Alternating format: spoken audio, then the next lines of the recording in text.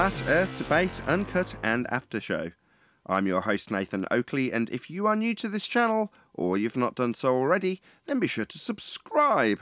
Hit the bell notification icon and join button if you'd like to become a Nathan Oakley 1980 channel member and keep up to date with the Flat Earth debate.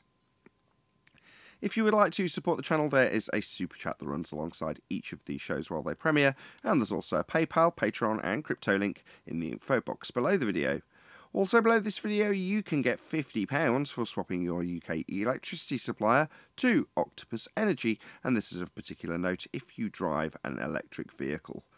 Speaking of patrons, I'm going to do a quick shout out to all of you who do support me on Patreon, including new Patreon Adam Price, Fibre Oats, Bogey, Michael Kahn, Rob H., Ben White, Maximum Gravy, John Kays, Patrick Gunnels, Banter, Will Brax, Mel B. Styles, Troy Shuker, Maris, Harry Blade, Mobile Max 777, Neo the One, Lost Cat FE, Rob W, Open Minded, Reese Pound, Del West Watson, Muted, Maria Neelands, Unbelievable Productions, Blue Ridge Ranger, The Real Gabster, Liam Nedrick Jr., Abraham Mohammed, Adrian Quintana, Skeptic936, Life is Short, Texas Mike, and David Wayne Foster.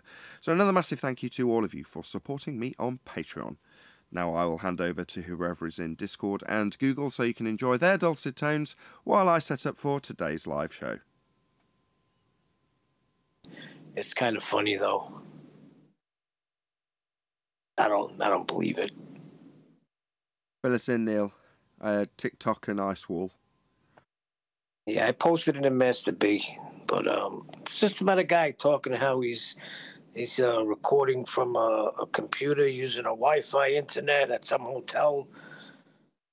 But he wants to get his story out, things that he's seen, ice wall higher than the Washington Monument, as far as the eye could see. Same old stuff. I see. Very good. The one question he goes, Is the earth flat? Yes. Is there an ice wall? Yes.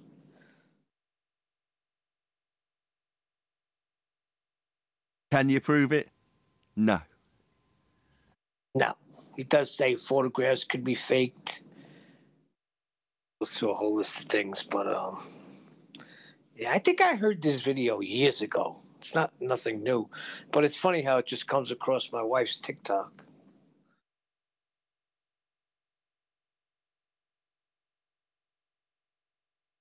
Hey, Righteous. Hey.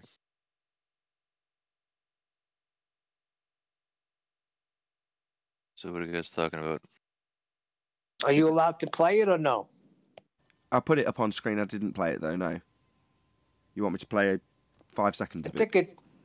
I think it's two minutes or something. within the confines of that program. I had to see it for myself.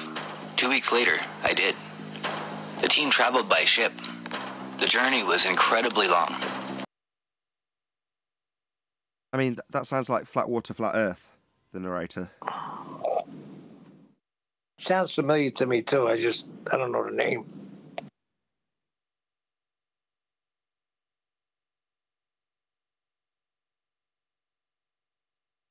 I don't believe he traveled there. I think he's full of shit. Who's he talking about? Bird. I thought he was talking about himself. I don't know. I haven't, I haven't got a clue what this guy's babbling on about.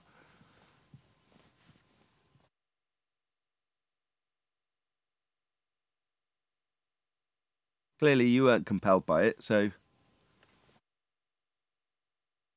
Yeah, it's the same old nonsense. I'm all about validation, Nathan. If you could validate it, I'm in. If you can't, I'm out. if I go and fix myself a coffee with the conversation completely down its ass and I end up with loads of dead air on the screen. No, we'll keep talking. Go make your coffee. Yeah, you you say that. Righteous, you there? Yeah. What do you think about the ice wall? Because I know you came around the same time, like me, maybe a little before. There was that ice wall talk back then, right? I suppose. What'd you think of it? Well, I'm not a I'm not a circle mapper anymore. But when you first heard it, though, like, were you like me, like you grabbing onto everything? I was grabbing onto it, yeah.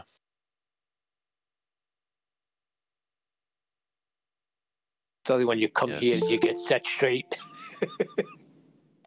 It wasn't just here. Like I don't agree with everything on here either. Don't get me wrong, but What do but you like mean? we're all like making our journey, right? And that's what I like about like we all respect each other and our journey, right?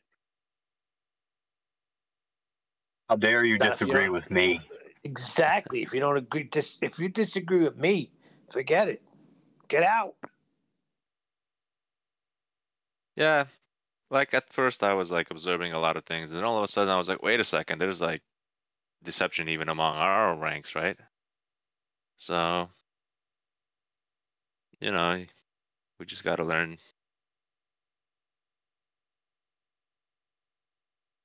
Yep. And you yeah, know what I realized? I realized I realized this whole circle map, uh AE map type ideal is again fed information. And they say, oh, all the ancient cultures believed in this. And it's like, well, why would I believe what the pagans and unbelievers believe? You know what I mean? They were deceived. Uh, Why would I How follow do we know that? deceived? How, how do we know that information wasn't fed either? Exactly. There you go. They might not even believe that either. Because I know that a lot of things about history is really, really dodgy. Very dodgy. I was looking at it this way. Look at 9 11, right? Now, I don't believe Right. the narrative that was said, but that's going down in the history books. So, 40 years from now, kids are going to be learning in school that a 9 11, 19 hijackers came in with box cutters. Exactly. And see how fast that history changed? Eh, It like changed right before our eyes. And if it could change at that rate, you know, you would think a couple of years would have to pass by before they like switched narrative. But no, it happened like right as it was going on. Right, but what I'm saying is the false narrative is going to go in there. There's no way I would believe that something like that could happen. But it's going narrative. down in history. What fourth narrative? Hey, Tenth. Hey, John. No, the first narrative. Good morning. The 10th. Good morning. Morning. You joining us from heaven? Tenth. No, Oh, no, I I'm, heaven on earth is my property. That's as close as I'm getting until I pass away and get my new body. Oh no, it it was just when you first talked. There was a load of reverb. That was all. You had a lot of Oh, God in I your just- voice. That was all. I just woke up. Yeah, same here. I just woke up too.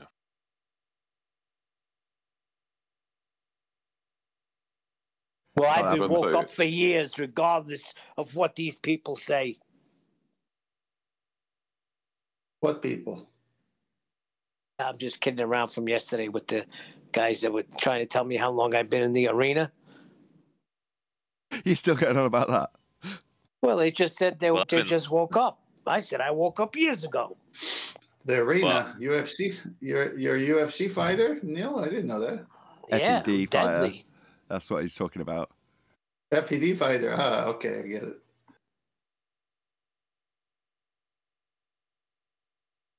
To round this up with what I was talking about with righteousness, history is we don't even know what is real and what is not real. That's all I'm saying. John, some some history is real, and I know that because I experienced it.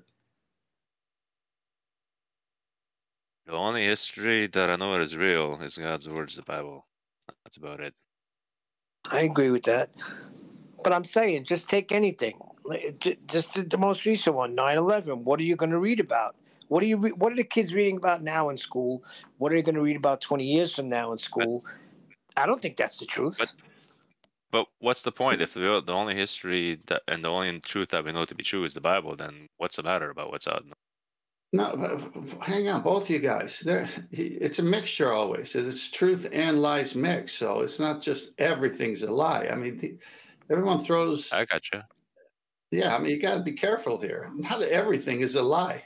No, I'm saying the narrative that they put out is. Well, I know what happened there. I was there. I watched it, but uh, I- I don't Well, yeah. believe what they're saying. Yeah, the, the narratives the government puts out and the people who are under the government in power are two different ones. And we're experiencing that now with the Charlie Vector Niner. So the whole point is you got truckers in Ottawa and Canada is just like standing up finally against it. And the narrative that you see uh, over the news, uh, at least uh, internet news, because I don't watch TV news, um, is a totally different story than when they interview the people on the ground. So we're watching it happen. Yeah, you're not allowed to mention that though, if it's actually happening there and then. Well, they also interviewed the people on the ground during 9 11, and they knew that there was structural damage due Yeah, to we- high heat. Yeah, you got you got special That- players. JLB plays that clip quite frequently, which is a guy on the ground that knew the ins and outs of the full narrative seconds after the event happened, and he's saying that the building collapsed because of structural fires, because of the intense heat. I can't remember to parrot it verbatim, but he's right there on the scene, there and then. He knows exactly Yeah, what pass him- caused it. A passerby knows all Right. the stuff.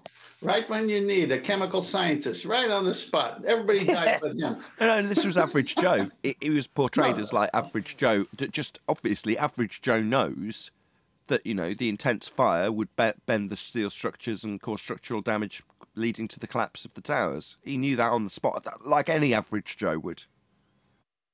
The towers that were built to withstand. Yeah, No, I, that's I, Anyway, let's not let's not divulge. Let's not let this descend into 9/11 discussion. I, I Right, was in uh, those towers. I was at the top restaurant.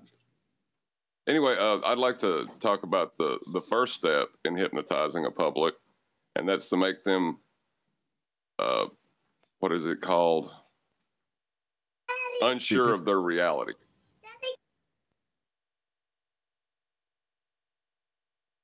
No, it's funny you say that because I, I think that's the problem is people are hypnotized.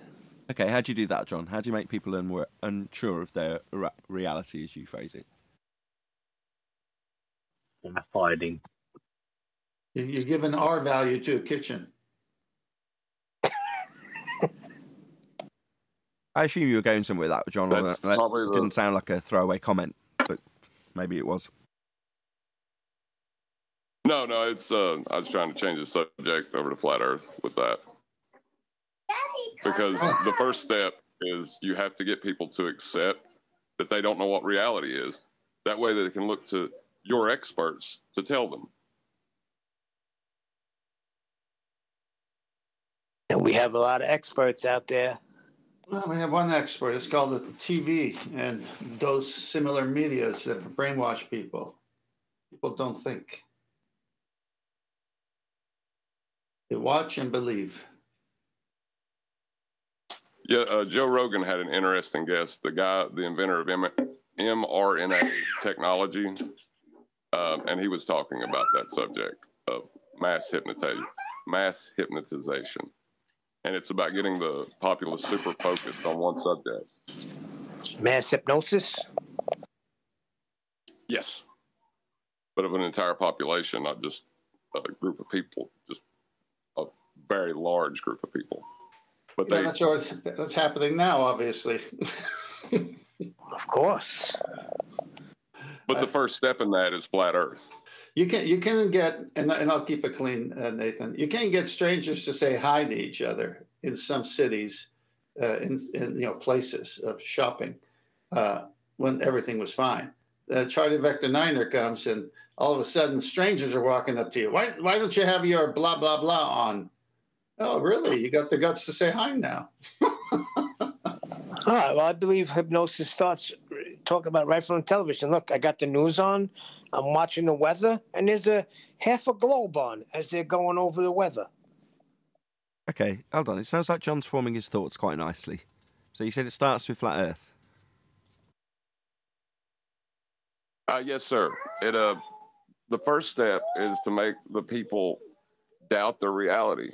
And what does every kid assume? I mean, when you hear about the globe, when anybody hears about the globe, they're like, they're mesmerized, almost hypnotized by the idea of it. Like, wow, I really don't know anything.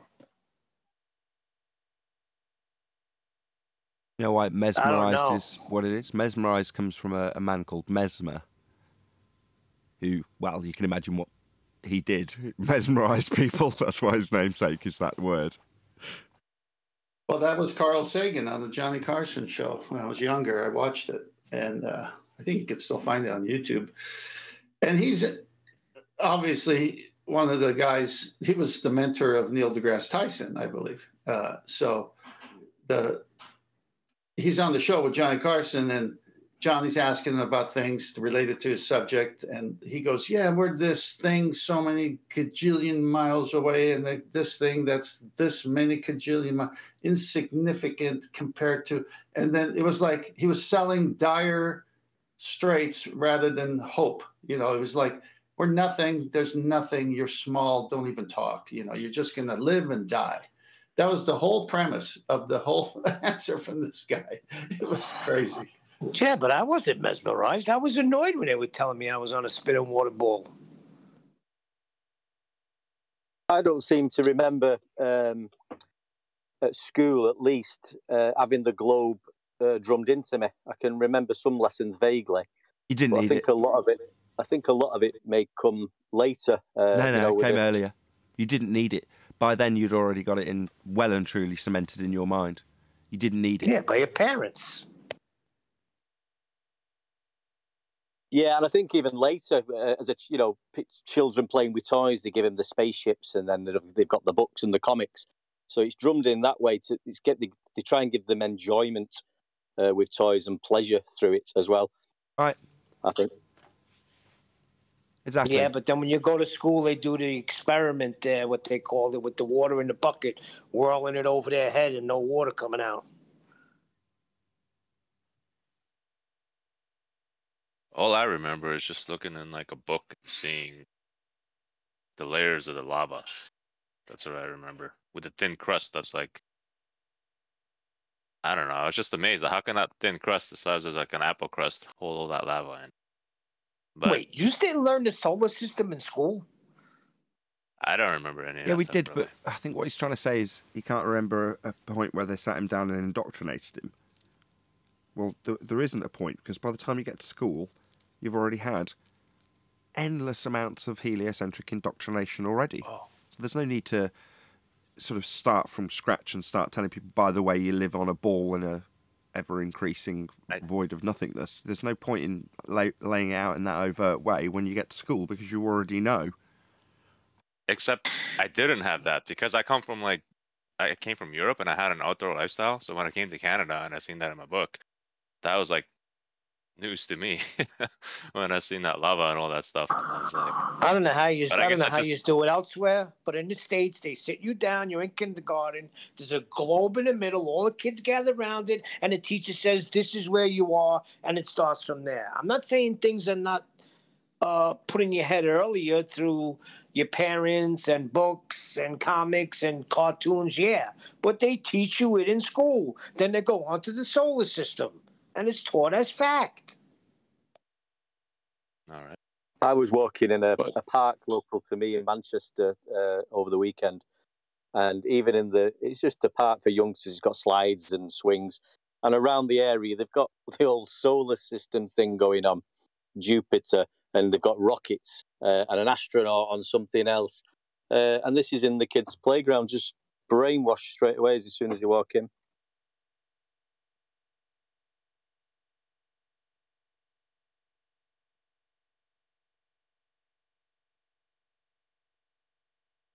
Yeah, it's our religion, so you get it from day one, basically.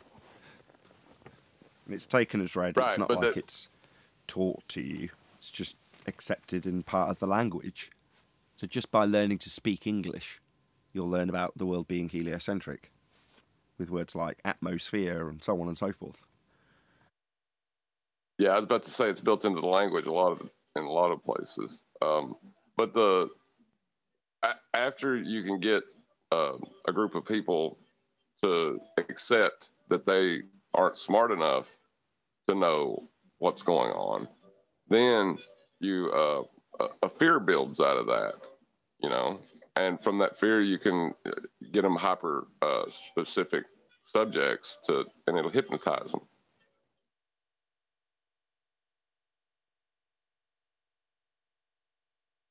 I think Nathan calls it the spell part of it, this, there's actually a, a step one before the spell. Yeah, but how do you break the hypnosis? Hold on, go on. What's before that?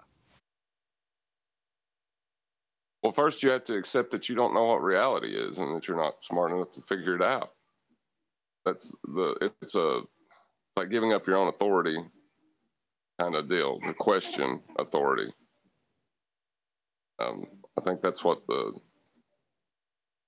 making them Well, you know confused about the reality. You know what I realized? I realized like we as humans in these bodies, we're like programmable. But I noticed we all have these checks deep down inside where we're not sure about something, but we override those things we're not sure about. And that's how things get in that shouldn't be getting in. We allow the long, wrong things in. Like me when I was looking at my textbook in grade five and I seen that, I wasn't sure about that. That didn't make any sense, but I just kind of like overrode that. I guess everybody had to figure it out. And I went with it and I passed that check. People keep passing these checks to having them. And slowly, slowly, they end up like off what's real and what's not just because they keep going against their instincts, right? So to say. Keep it layman. Well, that's me? what happened in. Yeah, yeah, that's what happened to me in school. And when the teacher would say something, I, I, I owned my reality. I said, "There's no way that works that way." And then he said, obviously, the back and forth, and you know the rest of the story. I, I don't even believe it. I just got to teach it. I think it was when I realised flat Earth. Uh, I, I think I immediately realised it without no uh, sort of evidence, if you like. Um, I just I knew, and then I late I didn't have to try and prove I knew it. I just knew it in my heart and my soul. And then later on, I went to look into the the the, the flat Earth, um, you know, debate and uh, uh, proof and things like that, and learnt things about it later on. But immediately, I just knew. Yeah, same here. And- Ma- just had a math Powerland mention it without it being in ridicule. And instantaneously I went, yeah, yeah, it is. Yeah, that's flat. I knew immediately. Now, I, I've justified this in the past by saying, well, I was a rep and I was flying all over the world and looking out the back window, and I've got this whole romantic story of looking over at the flat plane. But I think it's just instinctual for all of us. We know at a base level the world that we're actually interacting with. Agreed. Yeah, and we and we know on a base level our internal experience that we're interacting with. Like for example, Brenda thinks that her immaterial consciousness is actually matter. Very interesting. You can actually convince a person that their own sentient experience is not in existence, that it's an illusion. That's how deep you can program somebody. Uh, My book, one of my books came in, Nathan. I've got a few slides. Well, just, just before you my go into this. I've got the first one up, which is uh, Search and Rescue Survival, right? Um, Yeah, yeah. Uh, one of my uh, patrons and long-time supporters dropped me an email and said, I heard you talking with Tenth about a lot of great big stack of books that he's got. Well, he's an avid collector of old books, and he wanted to know which ones were your recommendations so that he can say, all right, well, I'll, I'll earmark and try and find this particular rare one that you th- say is good for X and Y reasons. But he specifically said, can you have a little chat next time you're talking about that stack of books with 10th um, about potentially a few recommendations for him to seek out and find for himself? Uh, and then maybe reasons why he might want to seek them out. I don't know those books. You do. I've just passed the message on. Hopefully, you'll do that before you get into this presentation. But I have got it up when you're ready. Yeah, well, that's that's that presentation I told you I was putting together. I took a picture of the books, posted it. They're they're getting higher and higher, and I got two two came in, one more's coming in, and one came in prior to that, and uh, it's going to take more time to actually sh- sh- uh, do that. But I mean, you know, I could just give them a hint, and get Bowditch number one, because that's their version of uh, everything you need to Hold on, know about hold on. Stop, stop, stop. Bowditch. What's the? That's the author. What's the full? What's his full name, and what's the title of the book that you specifically think he should get? This is called the Practical Navigator, Nathaniel Bowditch. It's uh, try get an older one. Try get an older one. You can get new ones, but they're like in two volumes now, and they kept adding stuff. Like Bowditch didn't know about uh, GPS, but the new ones have things about GPS. So if you get an older one, I think I've got a 65 version. I've got the his first 1802 downloaded on ebooks for free on my computer. You can get that from one of the archive sites. Uh, so just try to go to eBay or whatever and try to find an older one. Okay, and can you give me a couple more to recommend to this particular person? Oh my gosh, yeah, it's morning. I got to turn on the light. Hold on. Oh my God, you got to push a button, huh?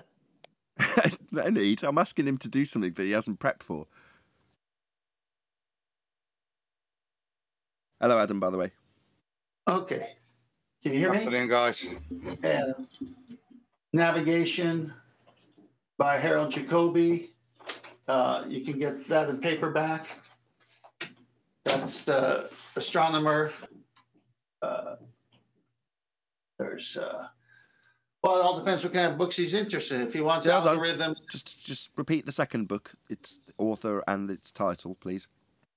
Navigation by uh, Harold Jacoby. And can you think of just one more that might be particularly rare or you found difficult to find? Yeah, Air Navigation Volume 1, Volume 2 by the Air Force, By the Air Force, U.S. Air Force. U.S. Air Force. Yeah, you can download that on ebooks as well. But that's a book. He can. It's specifically the the physical entity of the book that I think he's interested in. Right. Yeah, yeah. No, I'm just saying if you can't find it, and for the rest of your audience, uh, you can. Some of these books are archived, and if you can't find it in print, you can still download it. Okay, so got search and rescue up the cover at least. Yeah. Um, again, let me let me preface that when I started this, um, you're gonna, and it kind of goes with what we what we were talking on the show. Uh, they put truth in there, but then they have their version of the the globe model, so they have to talk about the globe, but they have to also talk about how measurements are done and how angles are achieved, and so they they do a good job of convincing you that it's working on a curved adjacent because of the pictures, but because I knew what I was looking for, uh, every time I, I turned a page, it's as if uh, the lies were in one color and the truth was in another color, and the words were popping out. And I just kept saying, My goodness, this is so easy. You know, you just have, hold on one second. No worries. We'll have some elevator music in the meantime. Dun dun na na na na na na Yeah, na but, uh, give me give me 20 seconds. I'll be right back. na na Dun, na dun, na dun, na dun. na On the na na na. on the li- I'm back. I'm back. Sorry. Someone was looking for a set of keys. And now Um, our feature presentation. So so when when you get a book like this one, Survival, Search and Rescue, you see they're talking about all the things that you see in some of the other books uh, about a globe and the uh, you know meridian lines and all the stuff, and then all of a sudden you come to stuff like this. So go to the second slide. And of course, I just took this with my camera, but uh, as you can see, what does that look like to you? Triangle. Yeah, uh, they're saying in the survival kit you have a protractor. You could even tie a string to a branch, put a weight to get your vertical, and then create a triangle. So well, that's interesting. That doesn't look like a curved baseline. What are these from, Tan? Um, survival. Survival. Yeah, search and rescue, uh, Department of the Air Force. It looks curved on top. Is that just because it's the book open? Yeah, it's Yeah, the bloody book. Okay. Okay, so Neil. Oh, well, I mean, I was- let's be honest, right? Hold on, let's stop a a second. Before we poo poo what Neil's just said, right? You know that there's going to be some fundy out there that would probably assert that in the comments had Neil not done it for them. So it's a reasonable thing to say. Only because of the level of our opponents. Carry on. That's Tim. what I was laughing at, Nate. It was just like a baller coming in and going, exactly. That's exactly what you expect from a baller. Yeah, but look at the book; it's curved. oh, all right. So anyway, next one. Do you, do you see the next one? Um, Yeah. Just talking about the big, the big uh, Dipper, Cassiopeia. So they got star chart in this book as well, and so they're saying look for the constellations and the star in the sky, and then set up your string protractors, make do sextant over here. So um, again, we're talking. You got to get a ninety. So that's the observer's ninety, is that string with the weight. And to get a 90, which is a right angle, see, whenever you say, this is the funny part, especially early on, um, Adam was laughing, I'm sure. Uh, when they say 90, they're really saying right angle. They, right angle and 90 is the same thing. So when, when all the books, and that's what kept popping out of these books, you subtract from 90, you minus from 90. I go, "No, that's a right angle. And the GP of the star has to be a radius direct to you from a circle of equal altitude, which is another thing in the book that they put. And I'm saying, well, if it's a 90, that's straight. That's all the way straight. And if you get three of them, and look, they even have the box there saying it's 90. And this is in their own books. And then you go next page and they lie to you about the globe. And then you go next page, they tell you the truth about a sextant. And then the next page, they lie to you about something else. And so these ballers have to realize that they're being lied to at the same time. Truth is being dripped on them. As you can see here, this is a right angle triangle up there, and you need a 90. And it's obviously the earth is flat. Anyway, you can go to, uh, I think I blew that one up so people could see it a little bit better. The next slide. Yeah, I've got it. It's a bit closer, better. Yeah. So they can see, and then see to the right, they're showing you the constellations and how to read it and, and know where you are and all that kind of stuff. Kind of give you a hint. Now, what was the only claim I ever made and still have made and not made anymore about the findings of the sextant? Is simply this it's an instrument to measure angles. That's all it is. And it's a glorified protractor. And the second part is define an angle. And the minute you define an angle, those two together destroy the globe. And those are the only two claims I make. So people say, well, you've never used the sextant. You haven't gone out to sea. You haven't done it. I go, uh, well, first of all, I own a sextant and I, I plan to do that, but I don't need to do it. I have hundreds of videos of watching guys do it. The point is, the tool is limited, and the tool cannot do something with a curved adjacent. It is impossible. I, I used to say curved baseline. It can't work with a curved baseline. Same thing. So the whole point is, you can't take that tool and say it's working on the globe, but you can take that tool and say it can work with a baseline. The reason I Straight. like curved adjacent is because you're going to be doing things with triangles. So if you just say baseline, that can mean more than one thing. As soon as you say adjacent, adjacent to the hypotenuse. So you're talking about specifically about the function on screen now when you say curved adjacent. That means this baseline would be curved. Now I know I'm using the word that tenth are used in substitution, but obviously we've got a triangle on screen, so the the hint isn't needed in the description when you're asking a concise and short housekeeping question. But yeah, curved adjacent. I I like that terminology because there's a very specific implication about what you're talking about when you ask that question.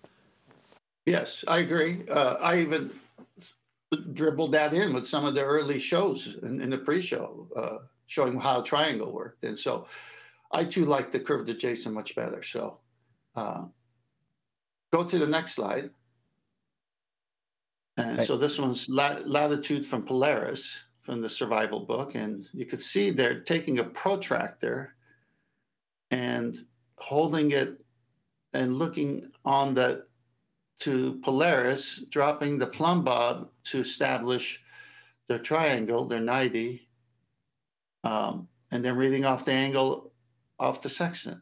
And you can see lots of videos of this. People tape the straw, like a you know drinking straw, uh, you know sipping straw, to the the flat part of the the protractor, and then uh, they hang a weight, and they do the same thing.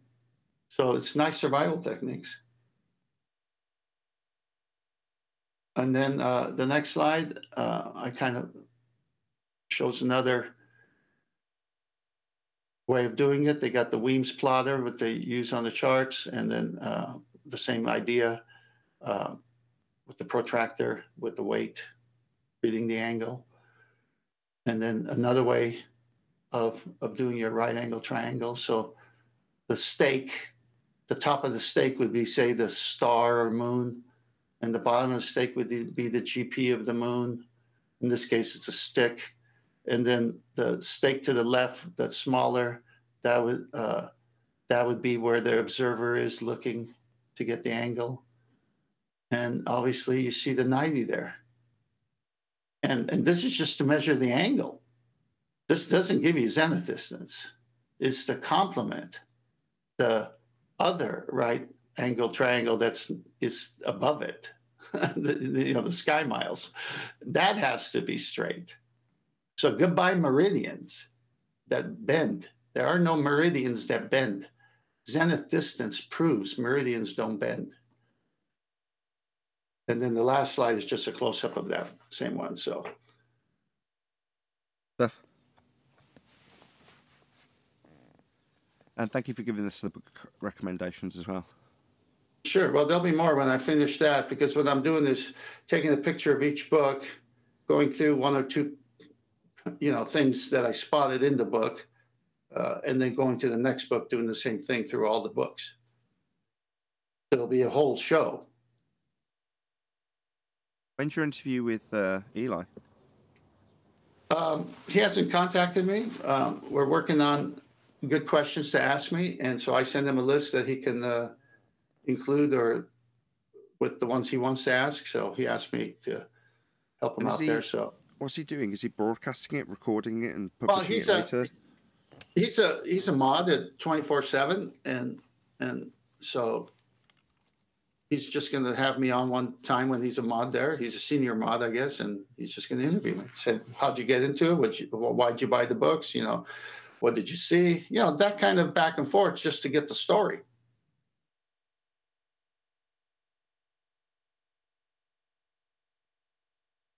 Cool. Just um, going back to the brainwashing thing we was talking about earlier. Um, tenth, I think I spoke to you the other day. I mentioned it. I've been watching a few videos and I, but um, um, of demonstrations, professional people showing you how the sextant works, and they are doing the the double speak of the globe and the angles. Now, I can honestly say, if I was into the flat Earth and looking into this uh, as a normie, I probably just that would have skipped right past my mind that globe um, and everything like that. It, it, it, I'm only noticing these things jumping out and because I'm looking into it.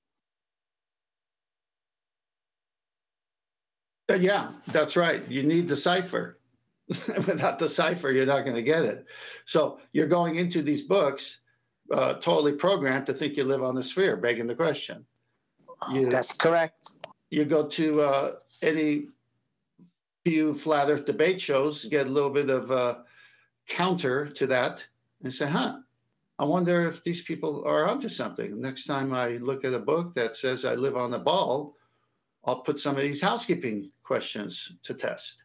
So next time you look at the book, you see the pictures and you say, well, why do they have that tangent plane Well, why do they? Well, how is that possible? If it's curving away from you, how do you get a right angle triangle? No, no, something's wrong here. And all of a sudden, because you're looking, because you have the cipher, you're, you're able to spot these things.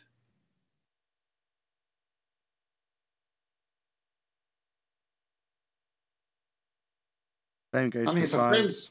When people hear the word if- science, they don't necessarily twig that you're being led to believe there's empirical evidence for what's being claimed.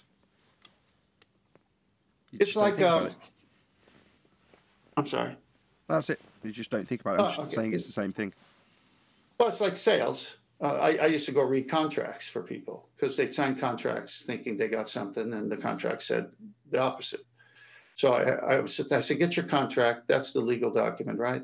They go, "Yeah, but we don't trust salesmen anymore." I said, "I know, but contract is a contract. You do you signed it. It's yours. You have to oblige by it." They go, "Right," and we're mad. I said, "Fine. Let me show you how to spot a fake or, or something that's wrong."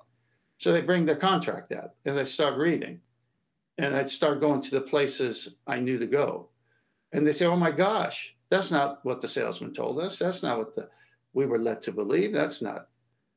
So then they say, "What can we do?" And I said, "Well, well I can't recover all your loss, but you can stop losing." and they become my clients, and I'd read them my contract and show them that none of that stuff was in my contract. And they'd say, "Okay, we trust you." And then I'd get referrals, and away I go. So it's the same thing here.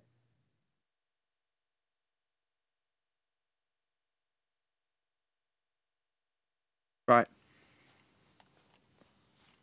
You don't know what you don't know. But if you're not looking, you're never going to find out. Seek and you will find. Right. Ask and it shall be given. Amen. Good voice, Nathan.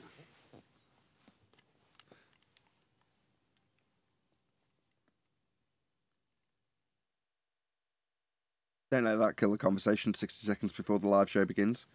It's supposed to be the Speaking warm of 60 seconds, speaking of 60 seconds, the base 60 system from the Babylonians is going to be in place soon. Okay.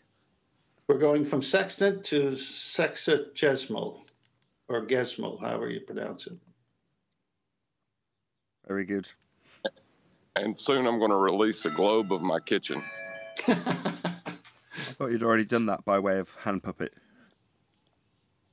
No, I'm, I'm actually going to uh, transpose the uh, coordinate system onto a ball. Oh, I see.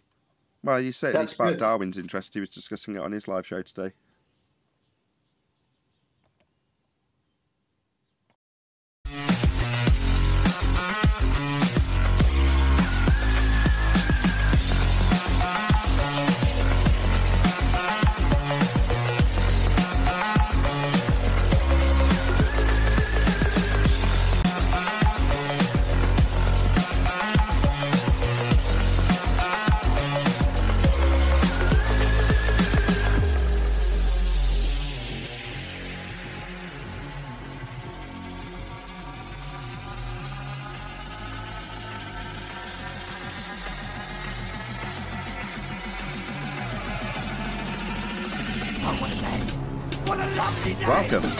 Flat Earth Debate Live. I'm your host, Nathan Oakley, and if you are new to this channel, or you've not done so already, then be sure to subscribe, hit the bell notification icon, and join button if you'd like to become a Nathan Oakley 1980 channel member and keep up to date with the Flat Earth Debate. If you would like to support the channel, there is a super chat that runs alongside each of these shows while they are live, and there's also a PayPal, Patreon, and crypto link in the info box below the video. Also, below this video, you can get £50 for swapping your UK electricity supplier to Octopus Energy, and this is of particular note if you drive an electric vehicle. Most importantly, if you'd like to join the discussion, simply mute the page you are currently watching, then click the link in the info box below this video to join the panel and express your views on the nature of Earth. If you do join, please don't swear. If you do, you'll be ejected. And if you are, please don't try to rejoin the stream using sock accounts. You'll be warmly welcome back on the next stream. Please also share the show on social media. Sharing the show obviously increases the live audience, but this in turn increases the chances of a more diverse panel, so please share the show on Facebook and Twitter. One last time, if you're new to the channel or you've not, not done so already, then be sure to subscribe, hit the bell notification icon and join button to keep up to date with the Flat Earth debate. Now, we are joined by 10th Man, Neil, the Adam Meakin, Arwin, Refracted Curvature, and a whole bunch of people in Discord. So, welcome one and all. Hello, hello. Hello. Afternoon. Afternoon. How are you? How you doing, huh, Neil? How you doing? How you doing? Very good friend's impression of a Yankee. Any evidence that you can acquire an elevation angle by way of a curved adjacent?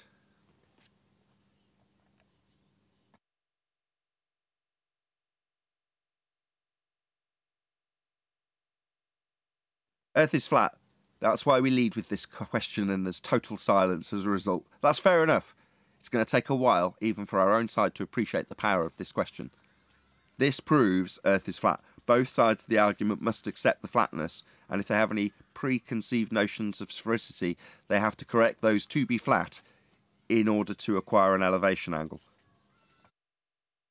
I was going to say, it's got nothing to do with the nature of the Earth, but what a load of geometric claptrap is to try and claim you can have a curved line to form an angle.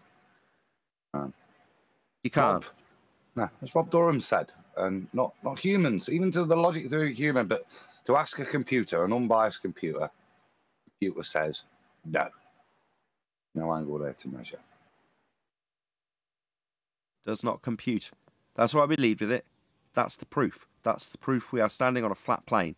Obviously, observably, measurably, navigatably flat plane that we must have and must be accepted by both sides, including any prerequisite that they must have a sphere beneath their feet corrected to be flat in order to measure any angle ever off the plane that we stand upon. The second question we ask is the 2020 Black Swan devastation, which is any evidence of a physical geometric sphere edge horizon, formerly known as Earth curve.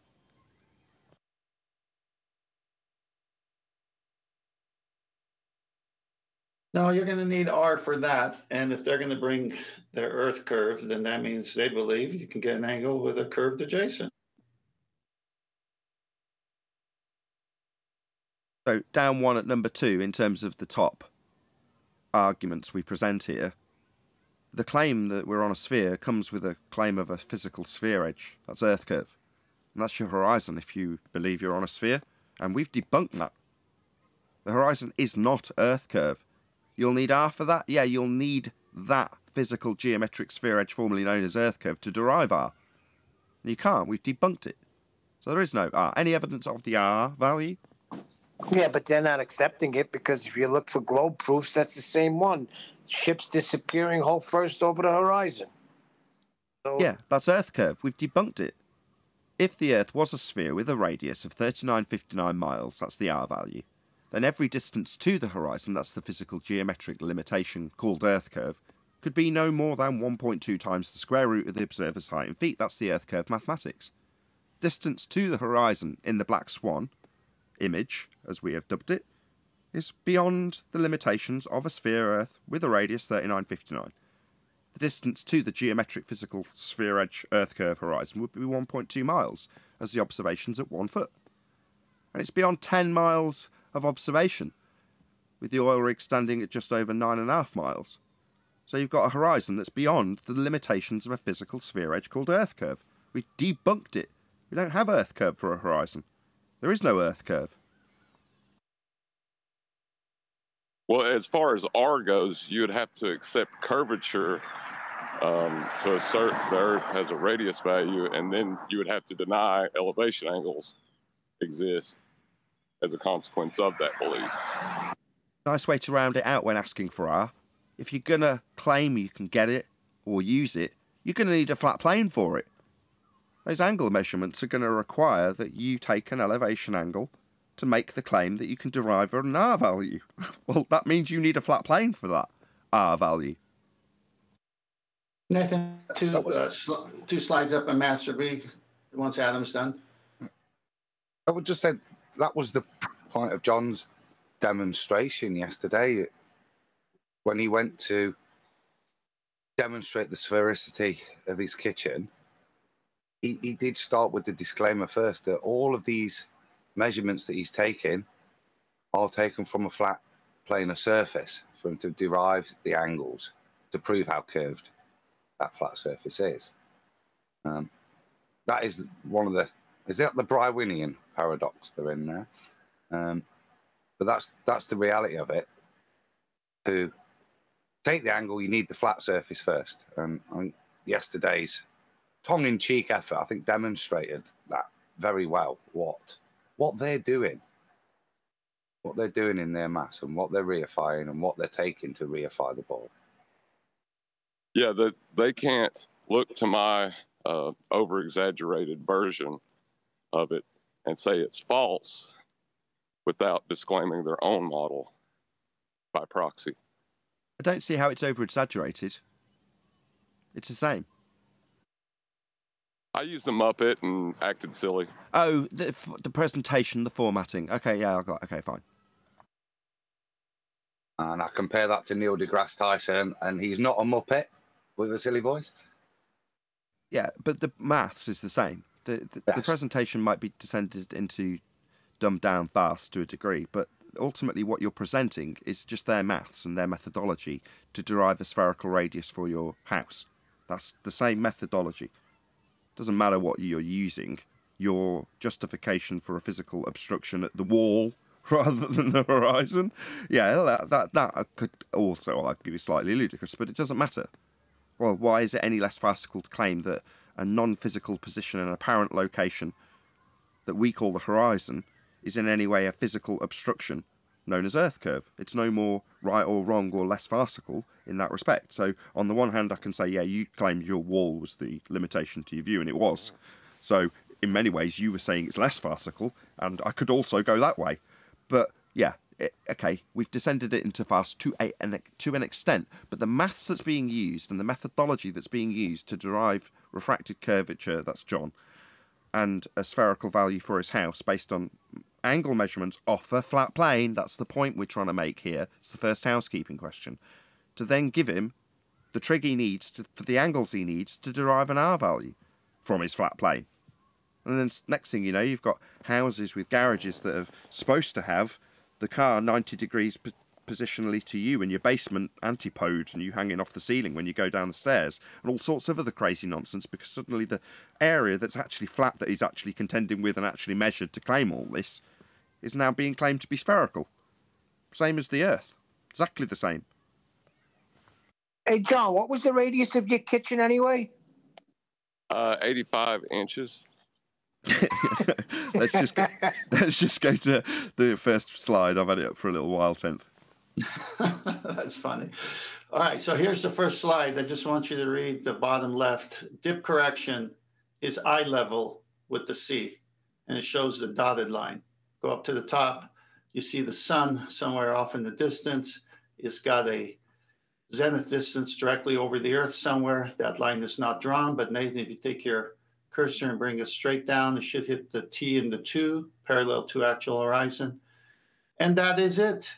That is exactly what's happening. So they are ignoring their geometric horizon that doesn't exist and only exists in the maths. It's a thought experiment. Actual horizon is the dotted line. If height of eye is zero minutes, zero seconds, dip correction is eye level with the sea. This other line below the dotted line that you see horizon written on, they even throw that under the bus in this picture. They're not using it. That's not dip correction. Next slide. It shows dip correction using the natural horizon is needed to become a true right angle. So, of course, you're going to have to take it as if your eyeballs were at the sea level when you took it. So, you just deduct the height above the sea level to get your right angle. The artificial horizon already gets it to your eye line because it establishes a horizontal by shooting the sun twice and you got to half the uh, the reading. So if it says 80 degrees, it's really 40. But right there, that validates it that on land, you can have the sextant work for you, but you've got to get a true horizontal. And at sea, prior to dip, you don't have a true horizontal. You're a little bit above, so you got to bring it down. It's not that hard, ballers. The next one. Well, here it is. That's what you're trying to establish at sea on the boat at your eye line, but it's very difficult unless that blue line, ground level, is parallel. And so that's why you do dips. So the ground level is sea level, which gives you your eye line horizontal. It's a parallel. It's the same thing with the artificial horizon and the bubble sextant.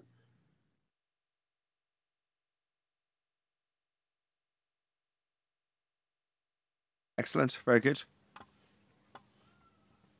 Bit more housekeeping. Any evidence of a self-perpetuating molten iron core at the centre of a presupposed spherical Earth?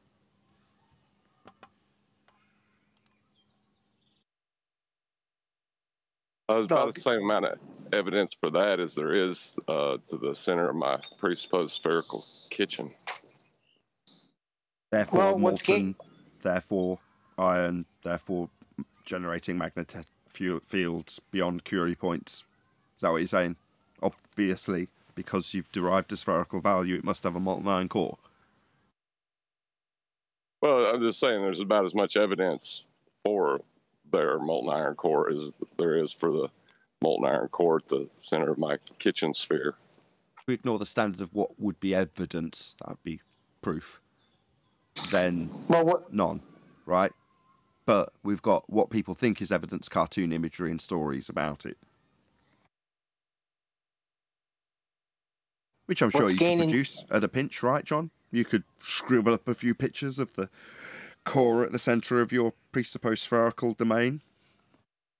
Well, that is why I was thinking of creating a, a ball and transposing my uh, coordinate systems of my kitchen onto that ball so that I can then cut it in half and describe to you what's happening inside that ball. I mean, if you could produce that depictorially, I'd appreciate it for a thumbnail, for sure. Now go to work. Any scientific evidence of gravity? Hold on. There's still something about that because what's gaining traction now with these anti-flat earthers and ballers is that tsunami caused by the volcanoes erupting. It came up again yesterday on QE show.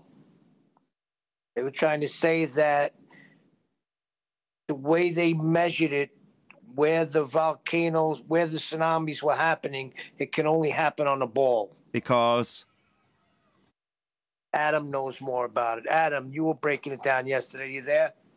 Yeah. Well, I was exposed to it yesterday. Betty was saying a few bits, but my only point was that they seem to be making the, the proof that it's spherical is that the timings of the tsunami wave match their ball distances, but it doesn't match the straw man that they build for the flat Earth model. Therefore, it must be a ball. But again, it's timings. Timings doesn't seem to have anything to do with nature, uh, orientation. It's literally just the timing of a tsunami wave. But I said that that seems to be the crux of their argument that the timings, the distances seem to match. Um, a bit like transatlantic flights, Pacific flights. ask a quick question then, Adam?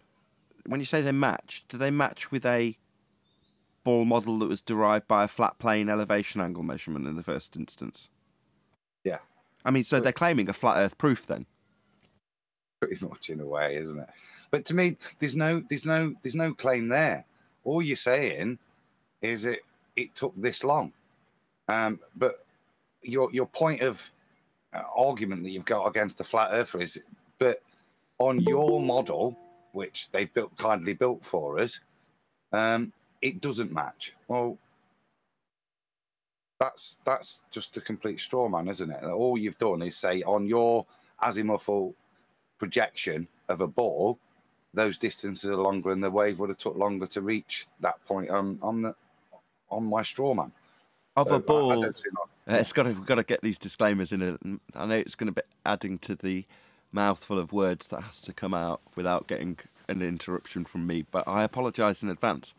From a ball, so the azimuthal equidistant projection of a ball that was ball. made with elevation angle measurements off a flat plane, correct? Yeah. Just to get that clear, as Brian's He's just getting joined, I wouldn't. innit? I, I, well, well, I wouldn't want Brian to tell me off. Well, you you know, well, you know that uh, the ballers, considering it's a tsunami, will just hand wave dismiss this. Okay, can I just can I just point something out about Brian as he's just joined, right? So o- over the last week, I've been in and out of hospital with a head injury. Not that many people would particularly know that, or it matters not. Other than during that time, having had a concussion and prolonged period of pain, I got back home. I watch start watching a video that I can hardly hear because my ears are full, full of blood, and I'll leave a comment about it. Just a just a m- minor point about a video I happened to watch in one of the chat feeds. Right, that I don't normally interact with, but obviously I'm ill and I'm just sat there in pain. And what I got back from Brian was, "Yeah, I know you've banged your head right, but if you present this shit here, right, I won't fucking tolerate it." That's what I got from Brian. That was the level of sympathy I got from Brian. Don't post Way to shit go, here. Brian. You will experience more pain. That's what I got from Brian. Yeah, oh well, eh, I, I didn't want to be unsympathetic, but I had to say something. Yeah, you weren't having it. there was no excuses, and you took them away before telling me off. Don't care what the excuse is. Don't care how hard you've banged your head. Post shit here, expect pain. Was the impression I got. Anywho, good to have you, Brian. Thanks, Nathan. I'm going to be on mute because I'm driving and I'm going into a bank and a hospital and all this sort of stuff. So I'm just going to have to listen in for the next hour. Uh, fair enough. I'll try and come in when I can. Okay. Thank you. So we got to scientific evidence of gravity, but then backtracked to the prior question. So, is there any?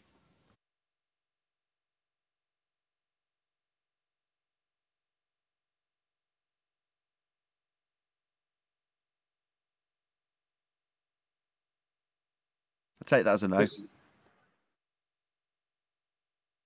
Any single viable hypothesis from any of the fields of astronomy, cosmology, or astrophysics? We're still waiting. It's not impossible, but it's probably going to involve R.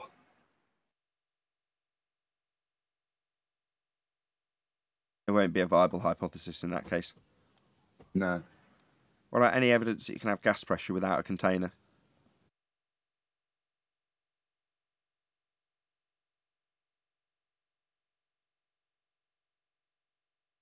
With John's kitchen, he put an end to that and pointed out he did have containment with the roof. So, no, pressure requires containment. I, didn't think I'd have to do this, but I was actually talking about the more wider Western world belief that the sky is a vacuum, not necessarily John's example of a spherical house domain with a contained gas. No. I'm, I'm, I'm a fully converted into ball kitchen. Yeah, I've seen the maths. It's therefore true. Maths is reality, so therefore John's house is spherical, right? No. Yeah. He showed me the numbers. I was show. I was actually shown the numbers by a unicorn, so it's got to be true. Yes, that's right. The unicorn made a presentation. That doesn't add or subtract from the mathematical value, which is zero, in terms of proving that his house actually does exist in a spherical capacity. It doesn't. And he had to derive it from flat angle measurements in the first place, like with the globe Earth. Obviously, that being the more wider reaching Western worldview, Adam. I mean, obviously, we know the kitchen floor is flat, so that it has to be, so we can take the angles to prove how much curves in it. You hear that, Well, Fundies? least- Can you repeat that, Adam? At least, We know the kitchen floor is flat. It has to be so that we can obtain the angle, so we can prove how curved it is. Unlucky Fundies. yeah. Go on, 10th. yeah, well, at least John showed us the wall, the geometric horizon that the ballers can't show us. Yeah. We are literally going to hang on this rather than the Western worldview that the Earth is a sphere with a sky vacuum in violation of the second law of thermodynamics and a physical geometric sphere edge for a horizon based on begging the question, proof of nothing, perspective hijacking, Earth curve maths. We, we're going to focus on John's spherical kitchen, right?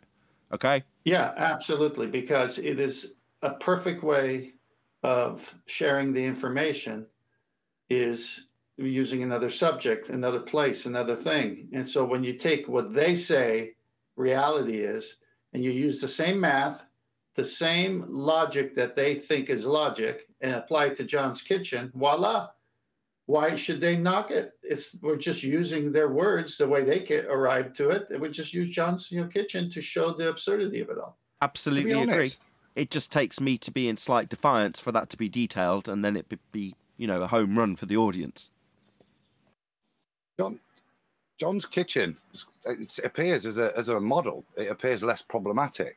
We just covered the gas pressure one, and he's he's got an answer straight away. None of this gravity nonsense. He's confirms with physics. Yep, I've got a roof on that thing. That's right. And if you're hungry for information, it's the right place to be. Mm-hmm. And for fear of people claiming that this direct analogy to what was just said a moment ago being made in the comments section, there's a roof on us also. By comparison, we can't have gas pressure without containment.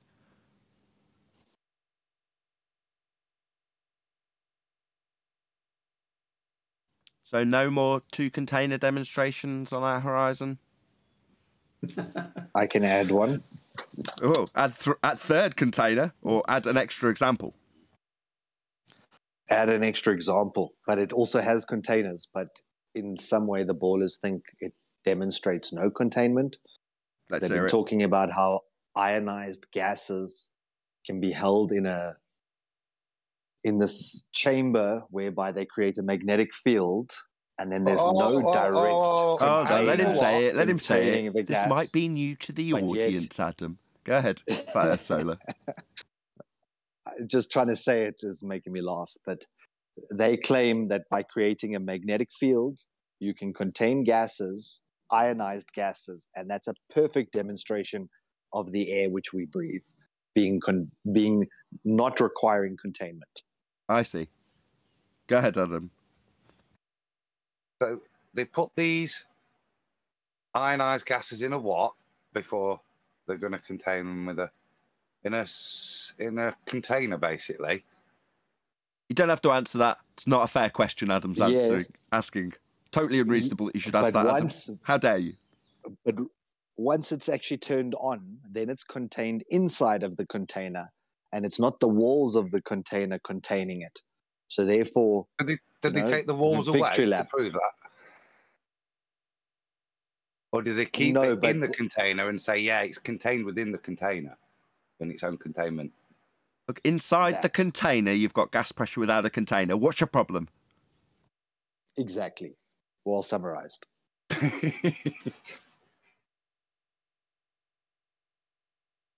Oh, righty then. Yes, that that was also quite amusing when it first came up, because the people punting it.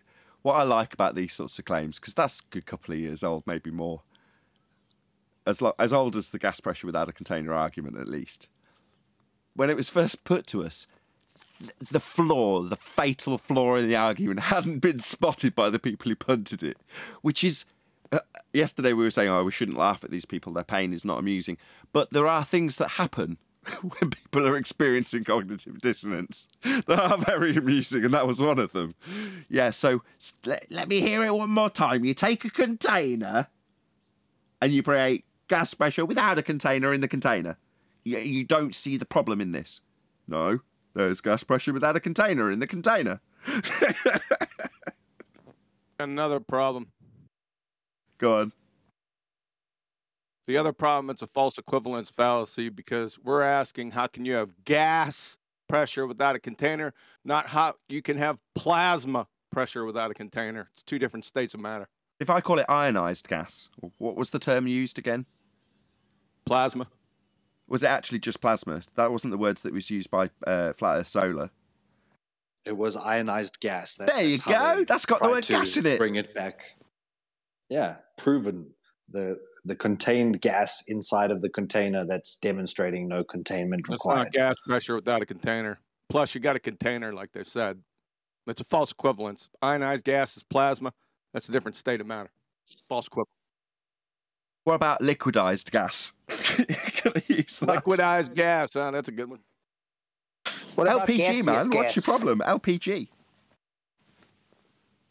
It's my problem. It's a married bachelor. It's the problem. What about if I take the gas and I squash it really, really close together so it behaves a bit like liquid? It behaves like liquid, or is it a liquid? What are the four states of matter? Well, there's a couple more. We'll just deal with four. Solid. Then they like to use the word fluid instead of liquid. So Yeah, it's Yeah, a that's not a has a state of fluid matter, but- dynamic. Yeah, thanks. That's If not a state of matter. John, if, if something's behaving like a liquid, um, wouldn't then be behaving like a gas at the same time, would it? Um, if it was under immense pressure, it started to exhibit liquid behavior. By definition, it would stop exhibiting gas behavior. Yeah, but the gas is experiencing liquid-like behaviour. Focus on the gas bit, because that's the bit that might No. weasel us an answer if I'm a fundy with a globe belief. What's your problem? Well, now changing pressure can also change the temperature at which a phase change will be induced too. So there's that to discuss within it, isn't there? The question is, can you have gas pressure without a container? No, you can't. Thank you. But if we have two containers, then I can show you gas pressure without a container. All right, In we're going to classify this as the infinite container fallacy. The Russian nesting doll fallacy. Yep. If you can take it far enough away from the original containment that's required to make your example, it can almost seem like you can have gas pressure without a container. Kind of a bit like talking about deltas of gas pressure that's already got containment in order to be achieved. You can talk about the gas pressure gradient after the gradient has been formed because you've got containment to form it. Just ignore the containment required to form it bit and focus on the delta of the claim in the first instance that you've got a sky vacuum, which would be to say that we've got gas pressure that we're all breathing without containment for it. Ludicrous. Violation of natural law. We got flat Earth That would also be a now. red herring fallacy. What's a red herring fallacy? Uh, as soon as they go to, excuse me, as soon as they remove the gas pressure gradients, that's a red herring fallacy to the question. Indeed. Yeah. Do you remember how Professor Phil solved the problem? Why? No, By bashing said his face in with a spade shovel? Well, sure, but he basically said it's a gradient vacuum all the way to the edge of the universe, which is the That's container. second law of thermodynamics violation. He doesn't know where the edge of the universe is. A gradient vacuum. That sounds like a married bachelor too. A gradient vacuum. Yeah, It's it's a new product from Dyson. No, let's just redefine what a vacuum is. Right? That's what it is. Yeah, that's you got it. That's also Xanax claim that there's actually a vacuum here on the surface, and it's just radiated at different levels as you Well, go. higher. that's probably It's a down to partial a, vacuum. that's probably down to a NASA claim. I've, I'm sure I've read somewhere in terms of NASA's terminology that the edge of space does actually begin at ground level.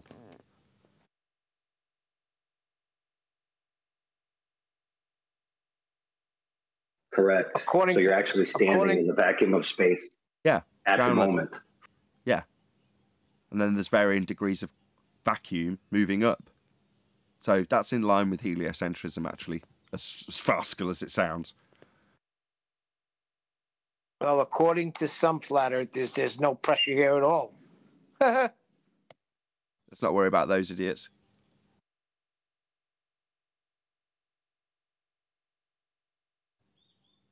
Any evidence of the distance to the sun?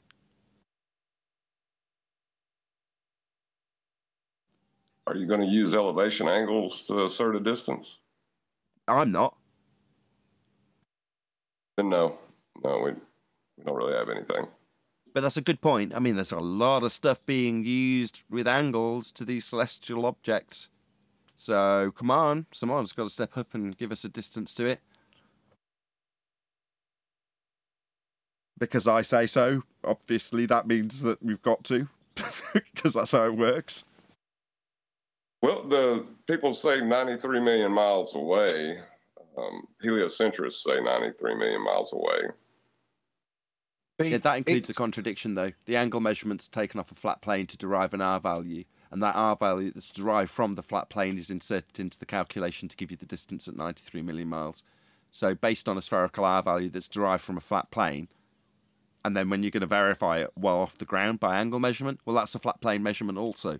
So that has a contradiction in it. No, not 93 million miles. You'll need R, and R will be derived from a flat plane. Self defeating. Because it's an apparent position, it would only seem sensible to use an apparent distance and an apparent unit. So the only number I put on it is three Arwinian units. An Arwinian unit, by the way, is the distance to a rainbow. Or is it a moon? Oh, God, I'm always And getting what- this wrong. And what's the distance to a rainbow or the moon? There, there is no. Uh, One, ha- physical there's an answer to that. One third the distance to the sun, if I'm correct in one Arwinian unit being the distance to a rainbow, and three Arwinian units being the distance to the sun. I believe two Arwinian units is the distance to the moon. So it's Two and a one half. third the distance to the sun, half the distance to the moon. There you go. What's wrong with that? Well, as, a as Chocolate would say, that checks out. Yeah, it does check out. Go then. And since you're not the one saying it, you're citing someone else. It has to be true. And if it's not, then that's not my problem. I can immediately defer my defeat to the person I cited because that's perfectly reasonable. Hmm. And he's probably shopping right now, so we don't even know. Exactly. He Anyway. doesn't know how big a problem I'm developing for him. You citing him like this. I want to know what the distance to the sun in John's kitchen is. Sun? You mean lighting fixture? Yes, whatever his sun is. What's the distance? I just Maybe want to know how we can it out worship that it. way. I want to know how we can I- put that lighting fixture at the centre of our life and bow down to it and worship it, my friend. I don't know about distance. Worship is much higher on my priority list. Well, we have NASA fanboys. Now we got John fanboys. The lighting fixtures in my kitchen are assumed to be infinitely distant. It's the only way to resolve the mathematics, you see. True. Otherwise, it gets too complicated. And that's only an assumption. It's not unreasonable to just make that assumption. Because in both models, it's a known fact that all of these things have accepted positions. Um, to use the accepted positions would create a problem that the model didn't work.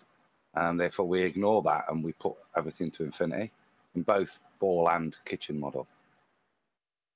I'm glad you clarified it as ball and kitchen model. They're essentially the same thing. They've just got, you know, slightly different parameters for the original measurements to give you distances and radii. So they're different in that the respect, but the maths and the derivations are the same. Do you remember when, at the beginning of this conversation, people started triangulating the sun and coming out with a distance of 3,000 miles? And then flat earthers were all claiming the sun is 3,000 miles away? Yeah. That was given to us. Hold on, you there? Oh, Brian's driving, isn't he? There's a big problem with that in terms of if you ignore perspective and back away from something, the distance is just going to change, isn't it?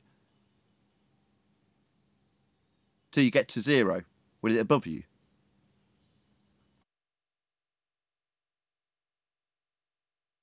Good point. But wouldn't that change the elevation angle accordingly and that you'd still get a 3,000 mile distance? It doesn't Only change. if you're using two No. points of triangulation, because once you add multiple points, we start getting the sun in apparently different locations. Well, I can't explain Hello? why. I can explain what. And what occurs in terms of the position of a given star above a given location. That is, it's seemingly set in stone and very, very predictable. Now, as a consequence of where the star's going to lie at 90 degrees to a person below it on the ground, or depending on where it is and you're measuring it with triangulation, it could be above the sea just to give you your positional data. But we'll take it as read that in this example, there's someone actually stood below it on the ground when you look at it from your position out at sea for the sake of argument. Well, that predictability in terms of where it will be above means that you can map it out with a two for one special in terms of the angle versus the number of miles from your position to that position where the star is above. Now that's very useful. Does it mean that I can derive the height? No. Does it mean that that can be put to practical application? Absolutely, and is. Yeah, you're just utilizing the angle and the ground measurement. You don't you don't know the actual height. No, but I do know it's above a particular location on the ground at a given time. And that seems to always work as a result of people having a good uh, uh, base knowledge of what, what the stars do and how they move and where they will be at a given time over what piece of land. And lo and behold, if you were to check and look up, yeah, that star's directly above me.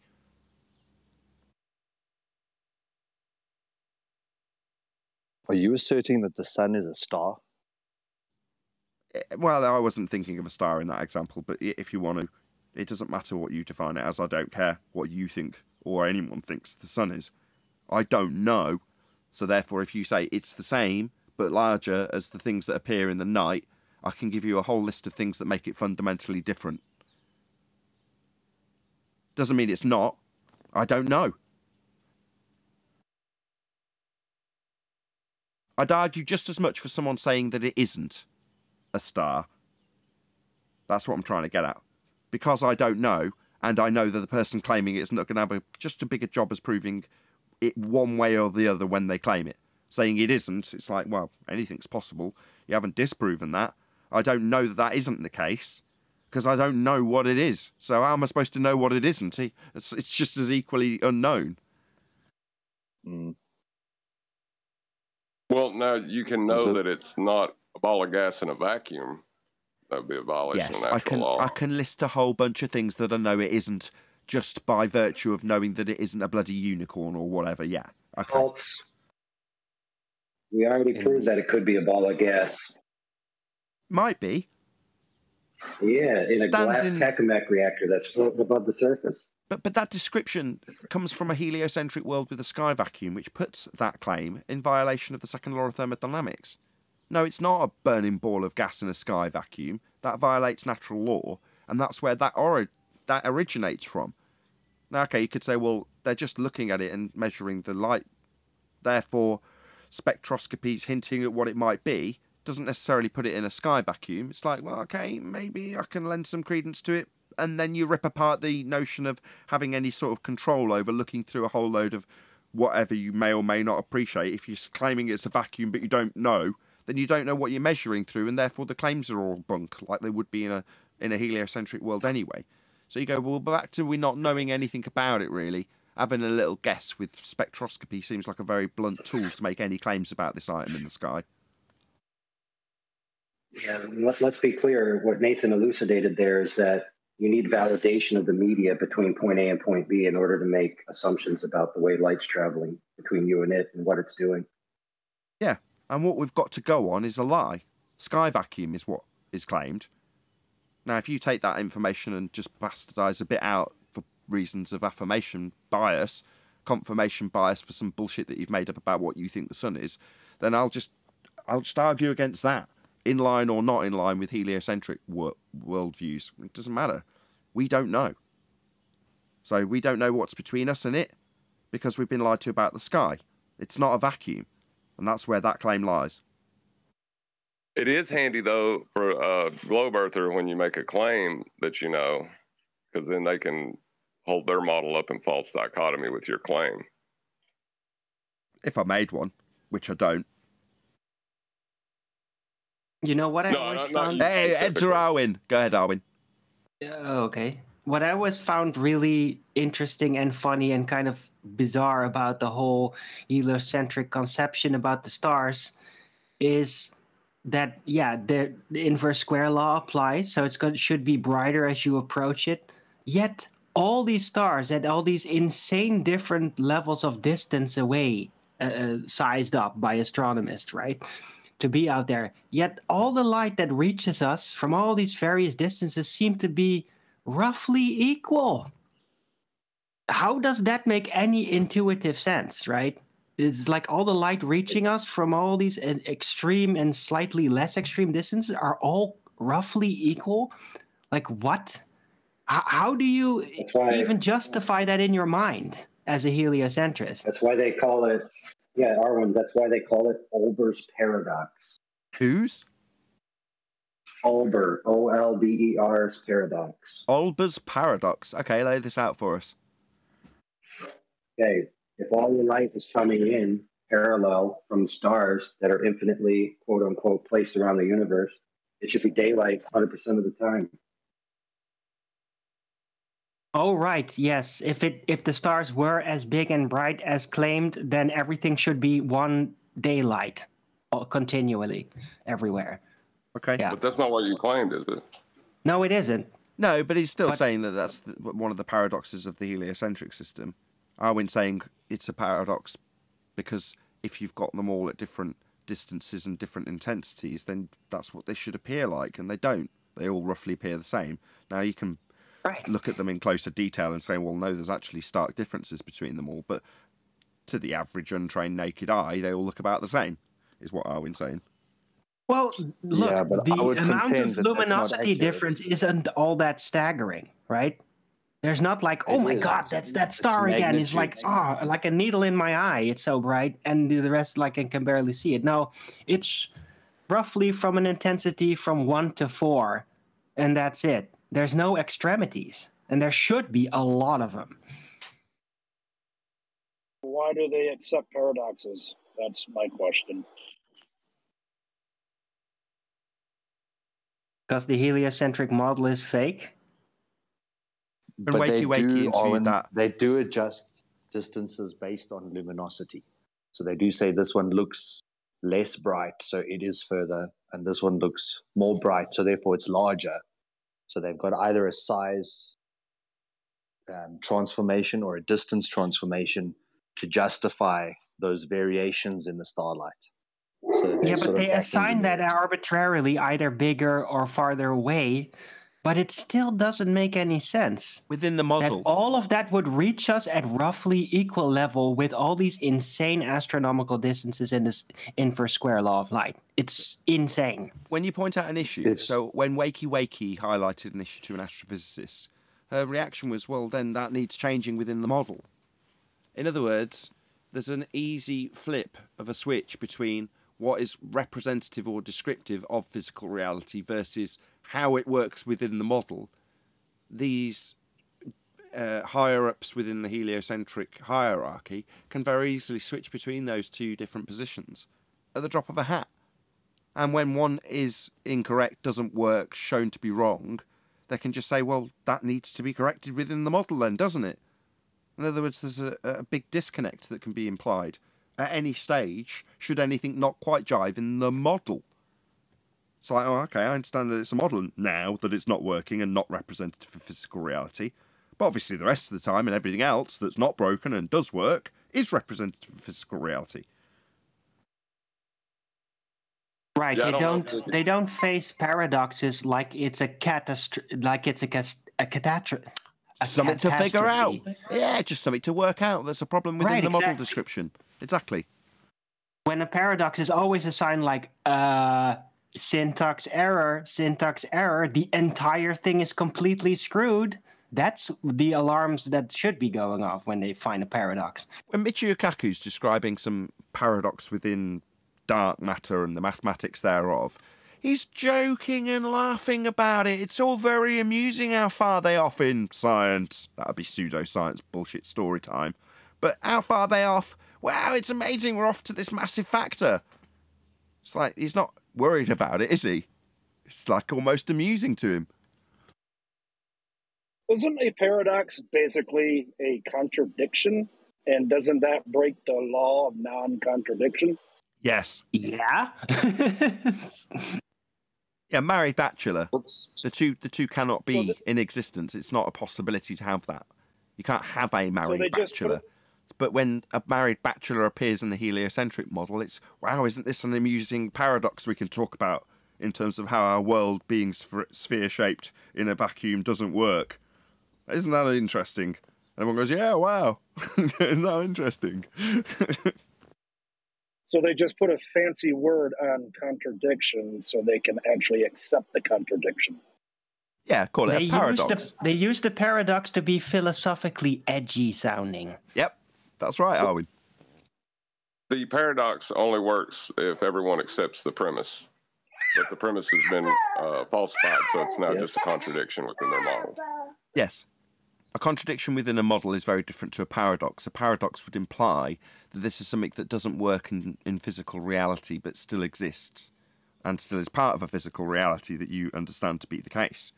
Now, if you show that the premise that's been accepted, i.e., you accept that there's a heliocentric model with a sky vacuum, and then within that model description that you've reified, something doesn't work, if you take that person out of that acceptance in the first instance, that would be heliocentric model in a vacuum, then there's no longer a paradox about the sun being a burning ball of gas in a second law of thermodynamics violation. That is no longer a paradox, it's just a contradiction in a model description of a world we don't actually stand on.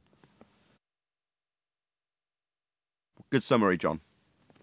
It was you that did that originally and pointed out, I think it was on a show I actually labelled as paradoxes and something else, but you, you pointed out that a lot of these paradoxes are now solved. Why? Well, because to meet the definition of paradox, there's got to be an underlying premise that's accepted. If you undermine the premise that must be accepted, it, it takes away any validity to the paradox. There isn't a paradox anymore because the premise is flawed. The premise isn't real, so therefore this can't stand in contradiction in physical reality to it as a paradox because the flaw has been displayed in the premise we now no longer accept. Yeah, it's a, um, it is one way to solve a paradox, I guess. Yeah, undermine the premise it's based on rather than trying to figure out how to make the one work and jive within the model. You say, well, the model isn't real. We're not standing on a sphere in a vacuum. So it doesn't really matter about us not having gas pressure without a container.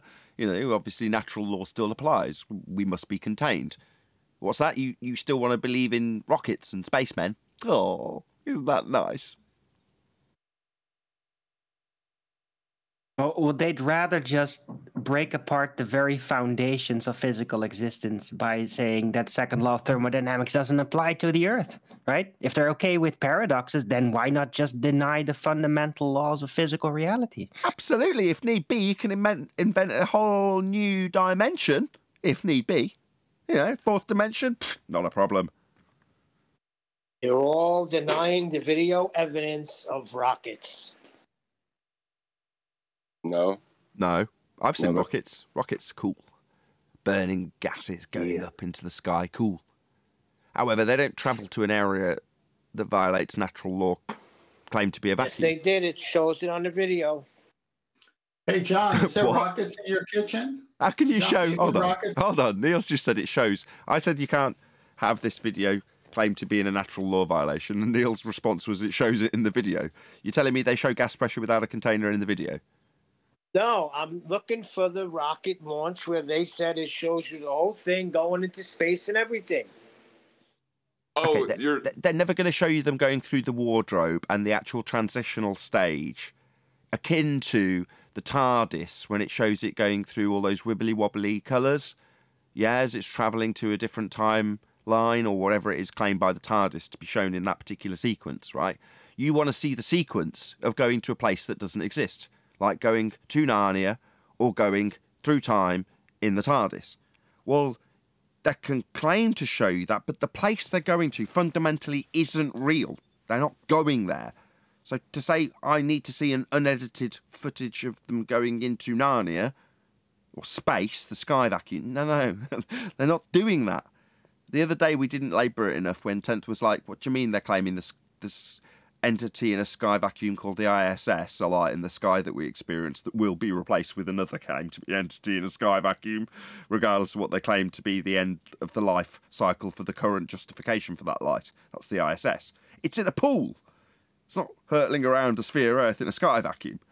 That's nonsense.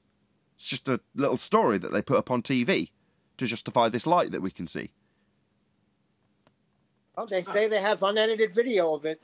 Hang on, hang on. John, can you have unedited video of shooting a rocket in your kitchen?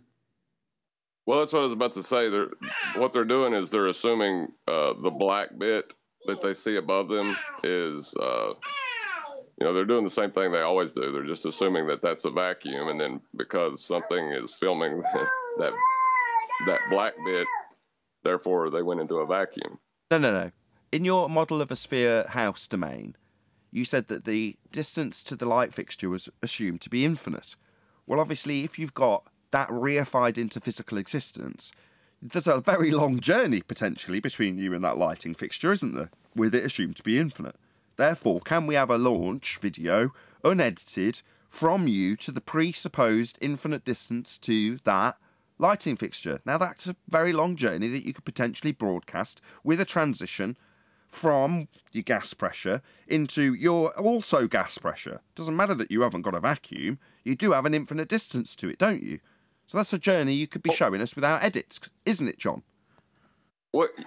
Yes, but hold on a second. I just understood yesterday that my kitchen was a sphere. So it's I need a little time before I can start journeying into the this That's all right. I could give you that time as an extra dimension. I mean, what more do you need? John, it's time to get out of the kitchen.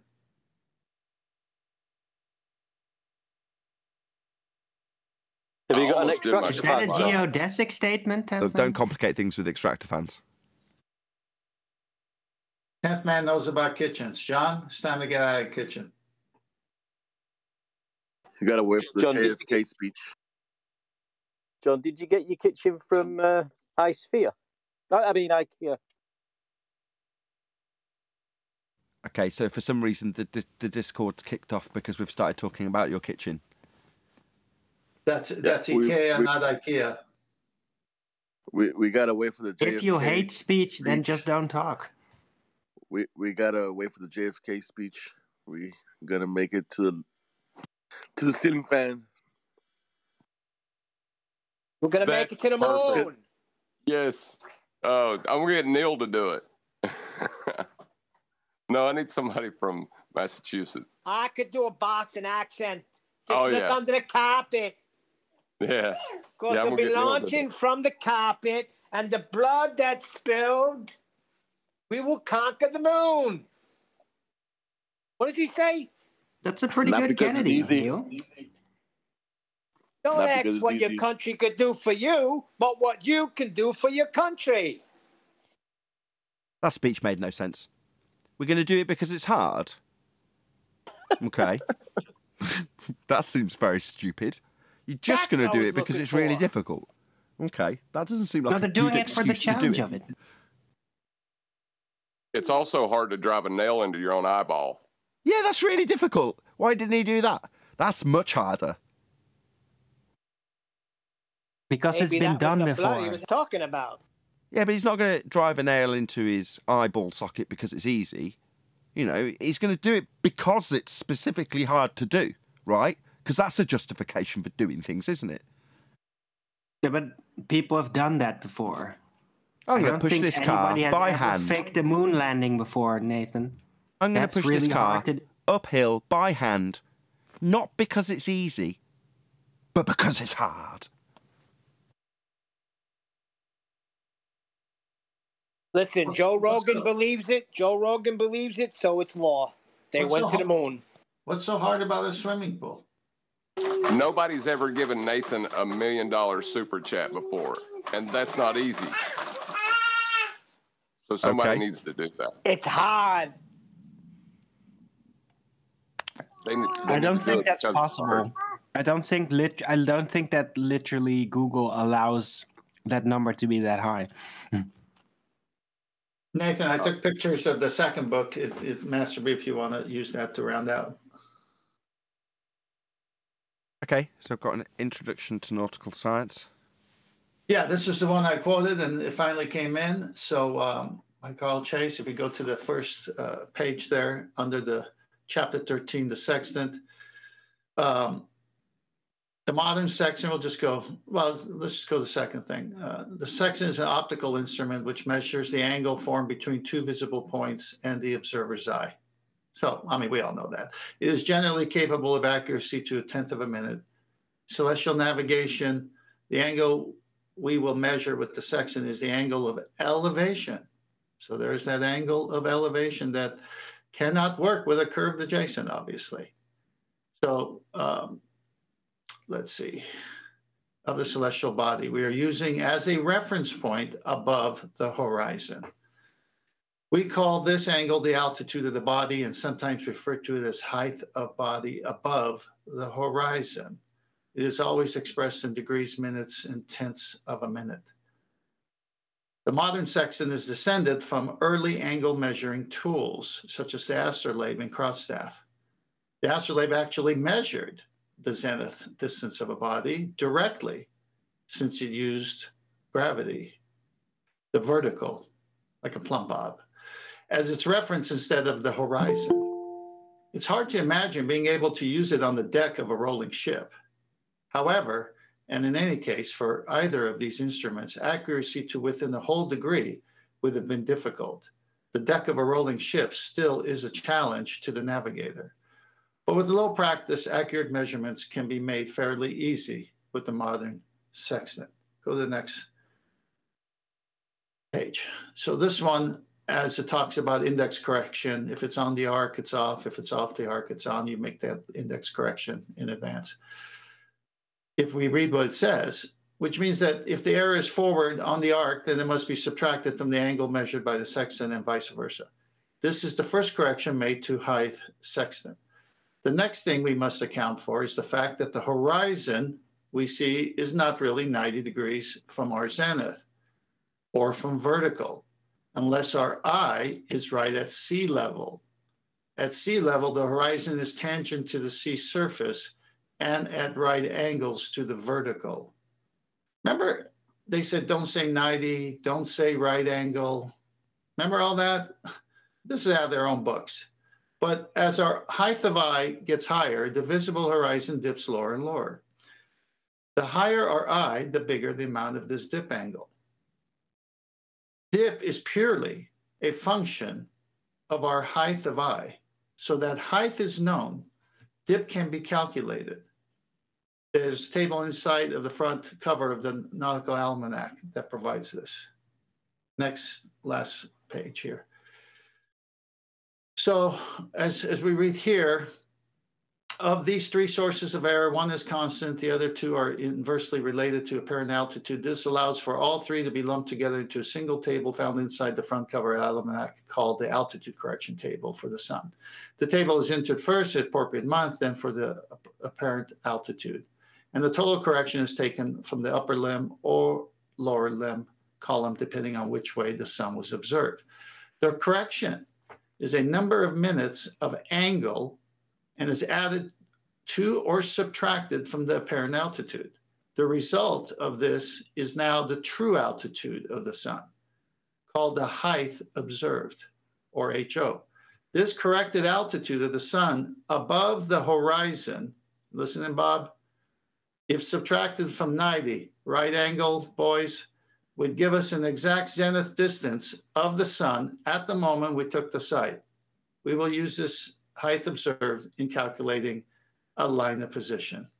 Thank you very much for including it in all your books. The Earth is flat.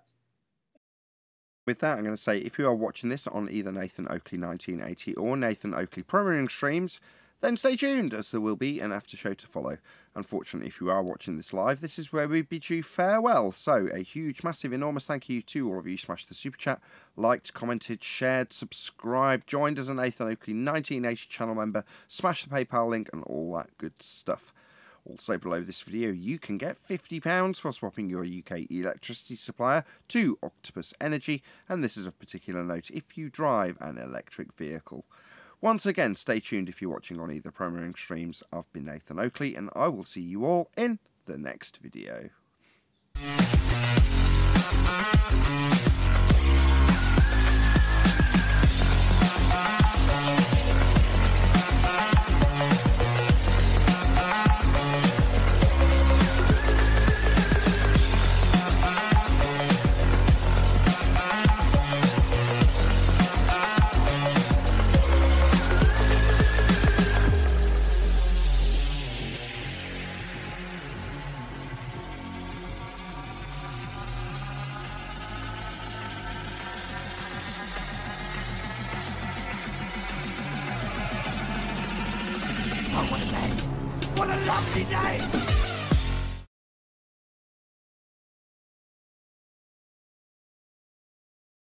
Say that though, at some level, you have to cognitively uh, accept that it there's something wrong.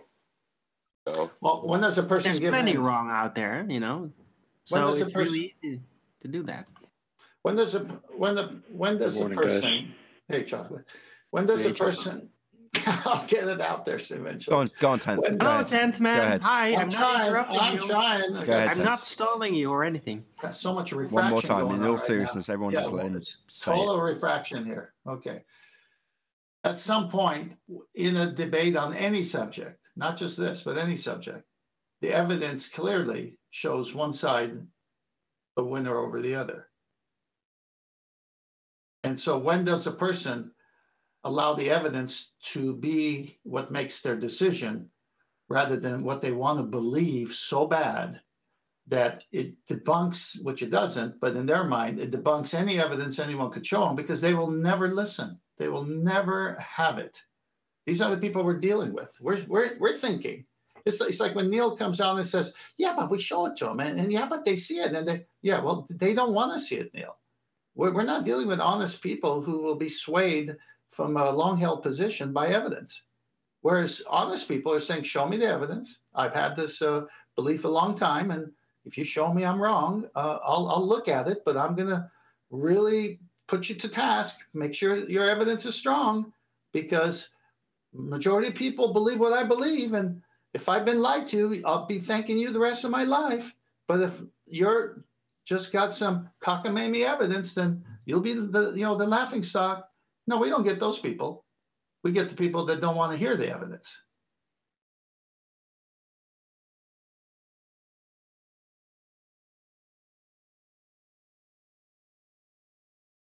There's Yeah, a I was just saying in it- the action. Extremesis. Yoo-hoo! Yes, I'm here. I'm just listening. You see my message in live stream. Main chat.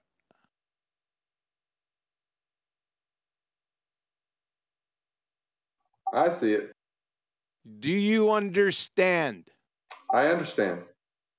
Good. You may continue, Nathan. What does he understand? You don't need to go into it. Wow, really? Awkward. Uh, that's a that's a that's a clue not to get too extreme.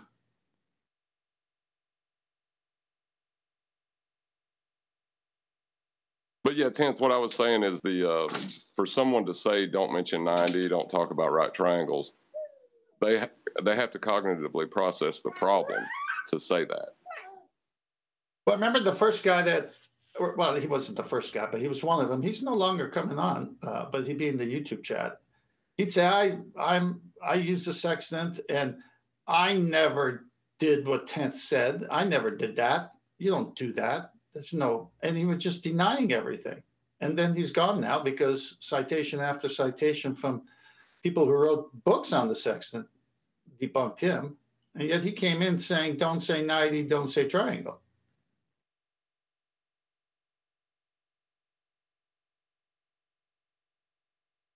Do you reckon you can bash together a picture of your house with a molten iron core cutaway? Do you reckon that's a possibility? Or were you just saying? Yes, but no. Um, me and Adam was talking about it, and uh, I'm gonna have to create a coordinate system for my kitchen, um, and then do uh, like a equatorial, um, like azimuthal. Uh, I'll I'll take a coordinate system and place it onto a um, a ball, and then I can probably take pictures and cut them out, and just kind of warp them to fit. And then when anybody asks, just say, you know, the model's not perfect. John, of all the pans in your kitchen, do you own a, a wok? I do not. You should get one. What is a wok? You know what a wok is? No, what's a wok? It's what you do in the morning when you're old to keep the blood flowing. No, a wok is what you throw at a wabbit. You both are a few steps behind. Walk is a drink. How do people cook in a wok? A wok is what you throw at a wabbit. What's wrong with you? It's also a drink. A slang drink. So this is the citation of Elmer Fudd sophistry. It's you, Neil. I never did answer. I am Elmer J. Fudd, billionaire. I own a mansion and a yacht. I never did answer Nathan's question. After I do that with the uh, ball, then I'll be able to cut the ball in half and put, you know, draw whatever pictures I want to inside of it. It'd, be, it'd, it'd make a great thumbnail. Hey, Neil, I own two yachts front yacht and back yacht. Hey, listen, you're gonna have to cut it in half because you got your measurements from flat, buddy.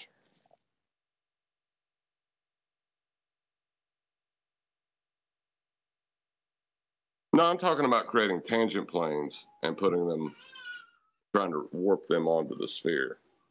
I think more is the description I'm giving right now. So Instead let me ask the equatorial plane. Let me ask a question. So everywhere on a sphere, nowhere can be flat. That's one of the principal properties of a sphere. But my backyard is flat. No, not on a sphere it isn't. But yes, in reality, you're on a flat plane.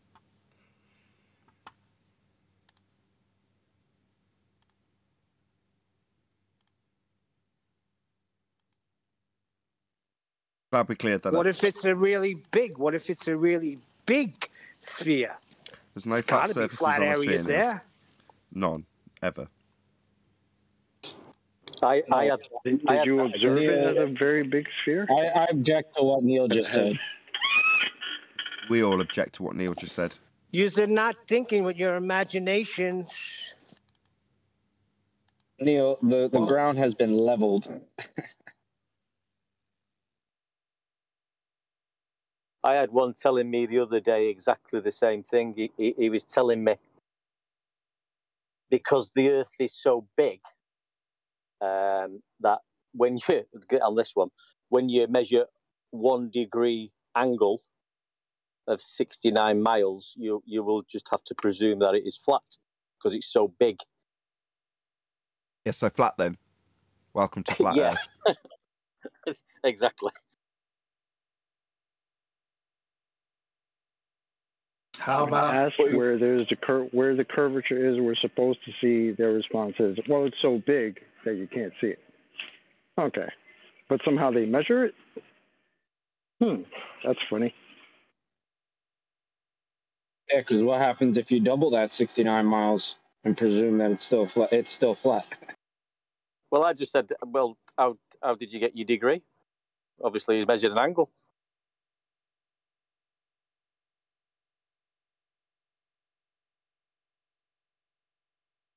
Well, I don't think they uh, claim that they've measured it. It's on the math. Sounds like a. It just sounds like a diagonal line to me. The No, they geometry doesn't fit. They are telling us they need to travel 69 miles in a straight line in order to see a, um, a derivation of the angle. So they're increasing the radius now. That's not a curve. That's a diagonal line. Like connect the dots. Connect four. It's a fucking diagonal line. It's just uh, it's just so funny to listen to what they come back with. Uh, just just keep keep it on the R value, keep it on an angle, and they just don't know what they're saying. Did Did you ask them who uh, measured that angle? It started off with R, and he came back with the Eratosthenes. Um, uh, you know um, that you know the Earth is so big that you can presume it's flat, and then he gave me the example of if you measure one degree of 69 miles on the Earth that big, it will appear to be flat. So I just said, well, how did you get your degree angle? And he's not come back to me yet. Ah. Well, ask him what's the difference uh, and where's the curve and why it's just a diagonal, straight, horizontal. It's like a f- straight line. It's not. There's no curve there. Yeah, I know. Listen, It's this is uh, all just- just- reasoning. This is all them trying to reason how something that's a sphere could be flat. But it's an impossibility, as we've been demonstrating. Right. How many straight lines? 69 miles with no I mean, like imagine the delusion somebody has to go through if they were to try to convince you that their car is actually a motorcycle. like that that's that's the type of delusion we're talking about. Chocolate. Well, that would it's got Everybody can clearly see it's a motorcycle, but you're Chocolate. going to tell me it's a car. Chocolate. That would be too wheeled to believe. As Elmer would say, too wheel to believe. Hold on. With using accepted You can only deceive those.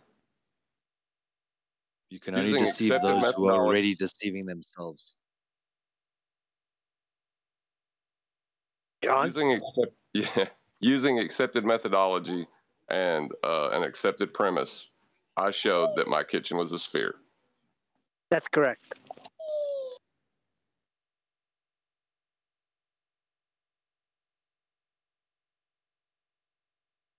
I'm going to do my kitchen. And what did we get as a rebuttal, John? Somebody saying, figure what this is, figure this out, or chew on this for a while. A bunch of the- lines and data. Well, they sent a picture of a, I think it was a broadband uh, reading, and then they it had a cross sectional reference of the information encoded within that broadband signal.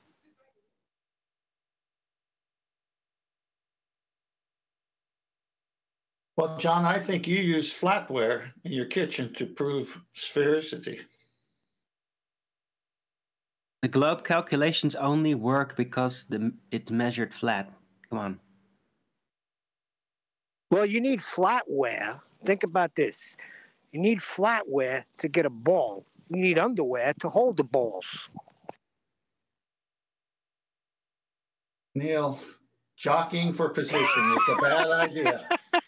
oh shoot, jockey! Uh, got it, got it. I can't outpun you. I can't bear you need this to make stuff. a globe cake in your in your in your global kitchen. You should make a globe cake. If I made it, I couldn't eat it too. A globe pancake. No, a globe cake. That'd be pretty hard to do. no way. You just make a pancake and then you calculate it as spherical. It's not that hard. No, it's a disc, Armin. Yeah, but your but your boat's got to disappear on the pancake. That's all. Well, they hey, they're still using that as proofsies. You know, the pancake thing is okay, but people would really waffle with that analogy. I, I'm still waiting for a baller's reaction to the video, though. Like, because anything they say about what I did uh, in that video, it's you know, it's just like a an indictment of their model when they do say something, you know. Well, it's an indictment of their processes, the process that they follow, model. doing what they do, and you revealed it, and that's kind of unnerving to the ballers. I think. I think they're just generally unnerved by it. Yeah, they want the flat want Earth to. model they use. Chocolate. They want to. Go on, John. I, I was just telling Chocolate the flat Earth model they use to claim it's the sphere. It's an indictment of that model. They they think they could heavily stack their argument with a pancake.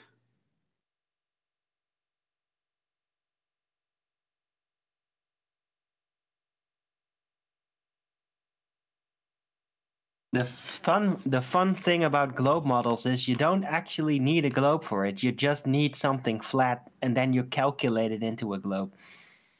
Yeah, piece of paper. That's all you All need. you need is a pen and paper. the geometric horizon only exists in the math. Where do you do math? On a piece of paper.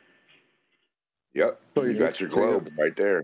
So you guys should be able to see like how easy it is to get their calculation and just reparrot it every single time, right? That's what they want you to do. They want to say, well, parrot our calculation. And it if you do anything other than that, if you can find another way to write this math problem, two plus two equals four, then we'll give you ten thousand dollars. But there's only one way to write two plus two equals four, and that's the way to write it. So the shit they say is just ignorant. Be careful, you're going to start another Common Core fiasco this way. It's like once they've done the two sextant sightings and got your circles of equal altitude, they have to put them on a flat map because they can't put it on a globe because you wouldn't be able to plot where you were because it won't work. Well, in order to keep the masters dumb, they rate on the curve. So there's your common core. Yeah, where's the molten common core?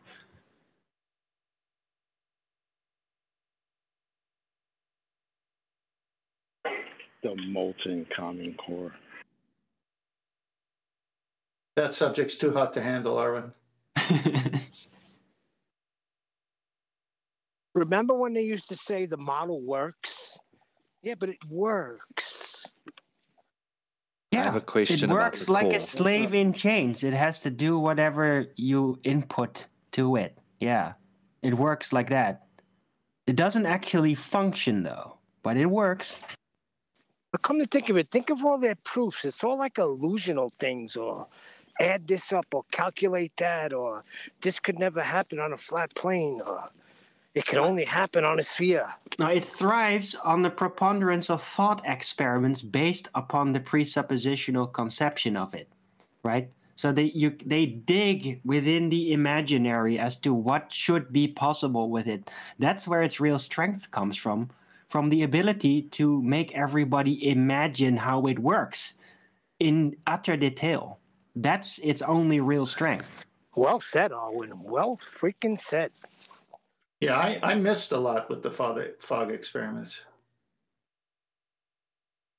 The globe's strongest proof is that it can't, it doesn't exist and doesn't have a proof.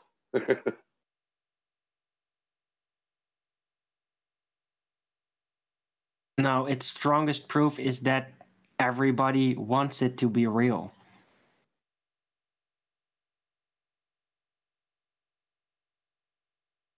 My favorite part of that is that everybody thinks it's real because some guy a long, long time ago supposedly liked balls, thought the ball was perfect shape. And he thought if God would make a shape, the earth a shape, it'd be a ball. Yes. It's a, Clowns. it's a spherical is the shape of the gods. Who was that? Was that Pythagoras? Was it? Yes, sir. Nathan, you around? Yeah. He's making a thumbnail. You making a thumbnail? No. So cute. You go go ahead and pull up the um I put something in Master B. Get ready for this little train wreck of a dumpster fire argument from abject retards. Tell me when Master you got B it up. now. Say again? You say it's in Master B. Yeah, I put it 90, 18 minutes after the hour. Okay. Just give me a sec. Yeah.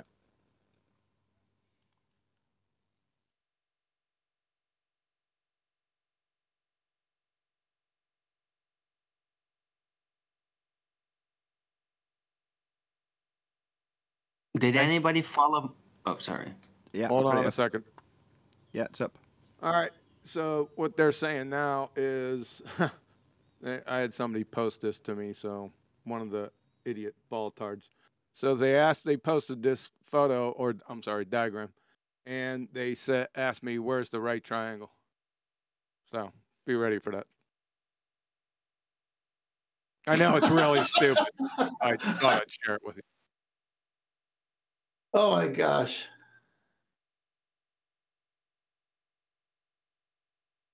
They don't see where they're using the, their like their celestial horizon to create a right triangle. Uh, it's right there on top and it's right there in the center. Is this a joke? Uh, hey, listen, I'm just giving you what I was challenged with. They're, they're really. There's literally a right triangle right on the top. Sorry, what? Don't forget the one in the center, the presupposed globe, too. They got two right triangles here. Well, that, that no, they don't. The reason why is they don't close the opposite side. See on the top, you have no opposite side coming down. It's open. Follow? Yeah, I highlighted it with So my mouse. you So if you're going to claim they that give the you- observation's taken from the position that says, as labelled, observer's position, well then that's going to give you a right angle triangle out to the GP of the position of this star. But the diagram's not using that as the angle measurement, it's using it as the light rays from distant body star in brackets. So therefore, you've actually got a transposition to the centre of the presupposed spherical Earth at C. That's where the angle measurement actually takes place. The angle measurement being H, and then there's no closed line between GP and C, celestial horizon line. That's what he's talking about. This is left open. Well, you- you're measuring the GP position from. Well, it's labelled GP, but there's no line, as QE's pointing out. Well, yeah, they're, they're showing, they're highlighting, as you can see, the Z, the zenith angle, which is a complement. They're not highlighting the right angle, the elevation angle. Well, basically, they've demonstrated why it doesn't work on a sphere, um, or why you would, couldn't navigate on a sphere with it, as proof of what?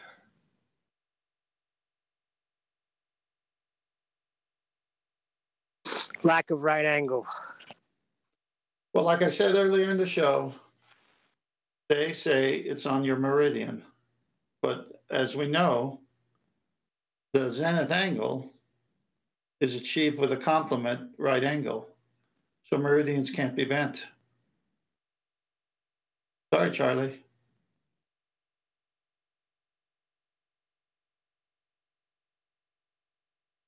I also see another problem. Where's the geometric horizon? If this is their sphere belief, where's the geometric horizon? They've got celestial and ge- geodoi- geoidal horizon, but where's the where's the sphere edge horizon? Oh, it's just not labelled in this. Oh, I see. It's refracted.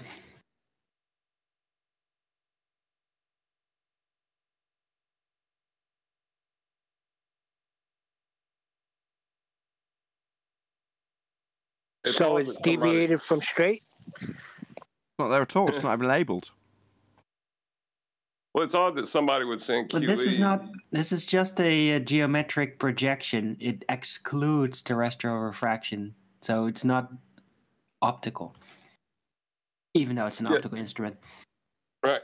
But the the whole thing is like they sent this to QE to try to disprove right triangles by demonstrating that you couldn't use a sextant on a spherical Earth. Yeah, that's what it proves. Look at the radius uh, from the GP to the observer's position. They, they have a bent radius.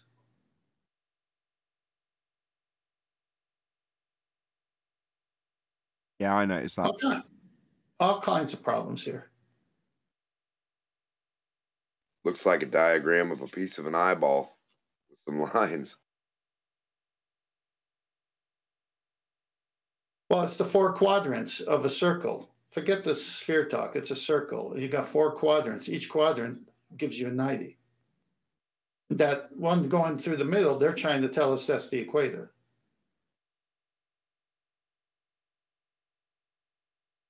Well, when that that drawing becomes any kind of Earth, let me know.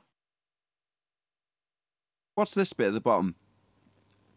Circle of equal altitude side view. This presumably extends out into a massive circle. Well, how is that? They can. How is that in relation? show- That makes no sense.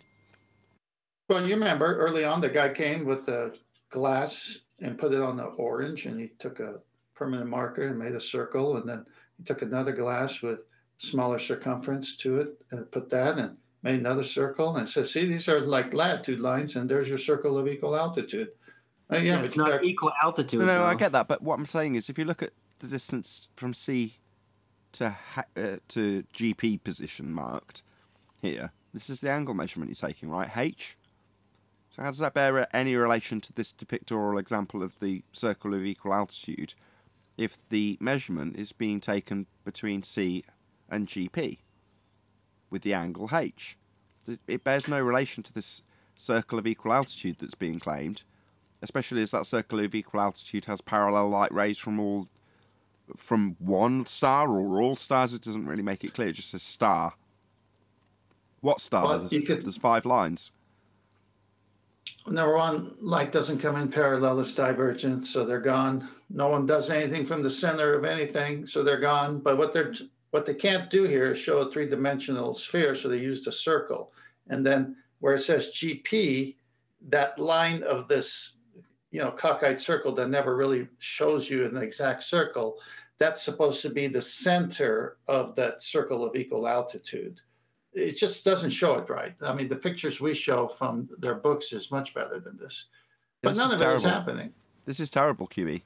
Whoever gave you this, maybe they just gave it you in this appalling format for reasons to obfuscate and confuse. I don't know. It's terrible, though. I think it was more of a knee jerk reaction from somebody just first hearing the information. You know, kind of. Well, this this doesn't have a triangle on it.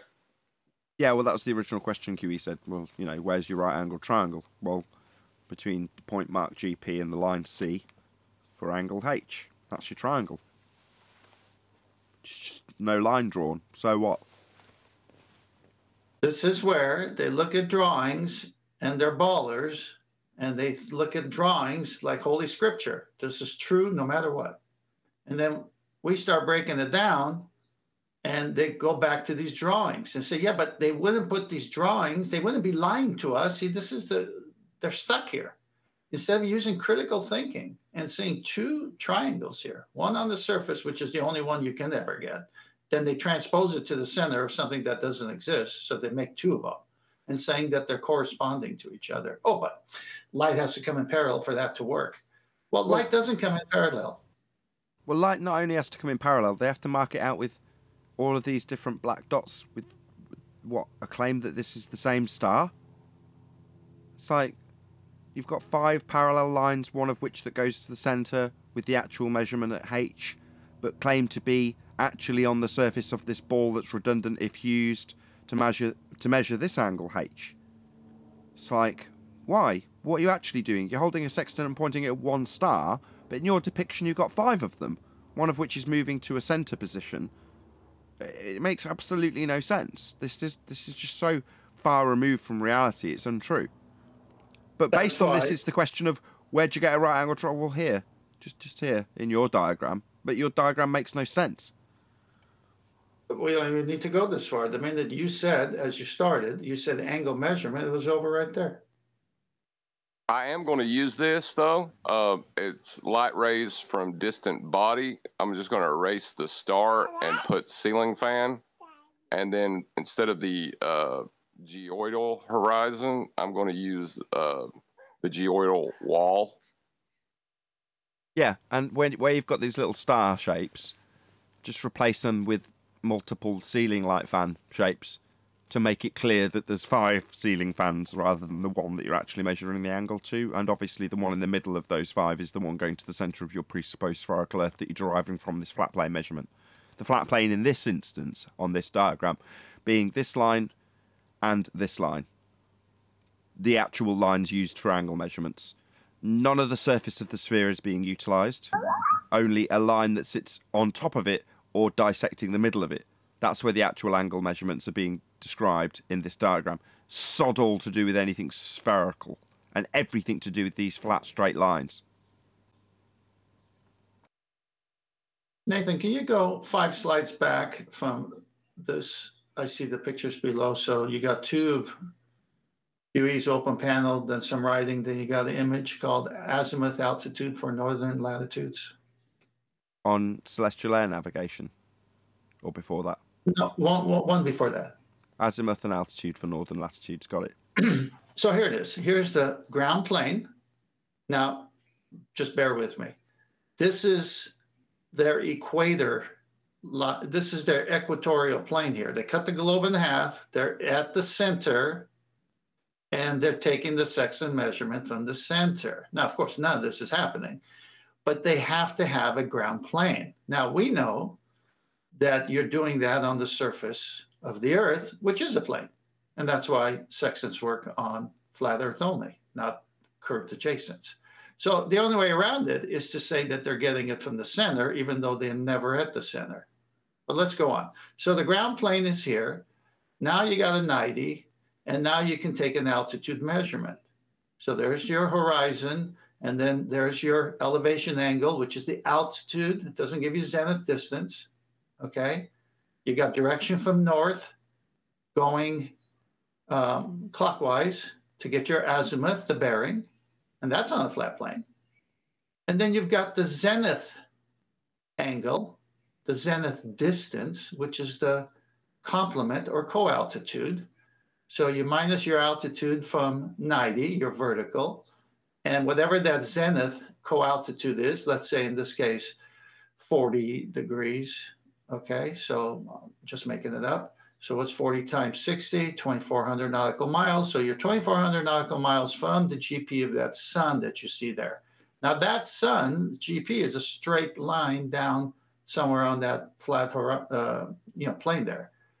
But what I want everyone to understand is this dark arrow that differentiates the vertical and the altitude with two arrows on either end.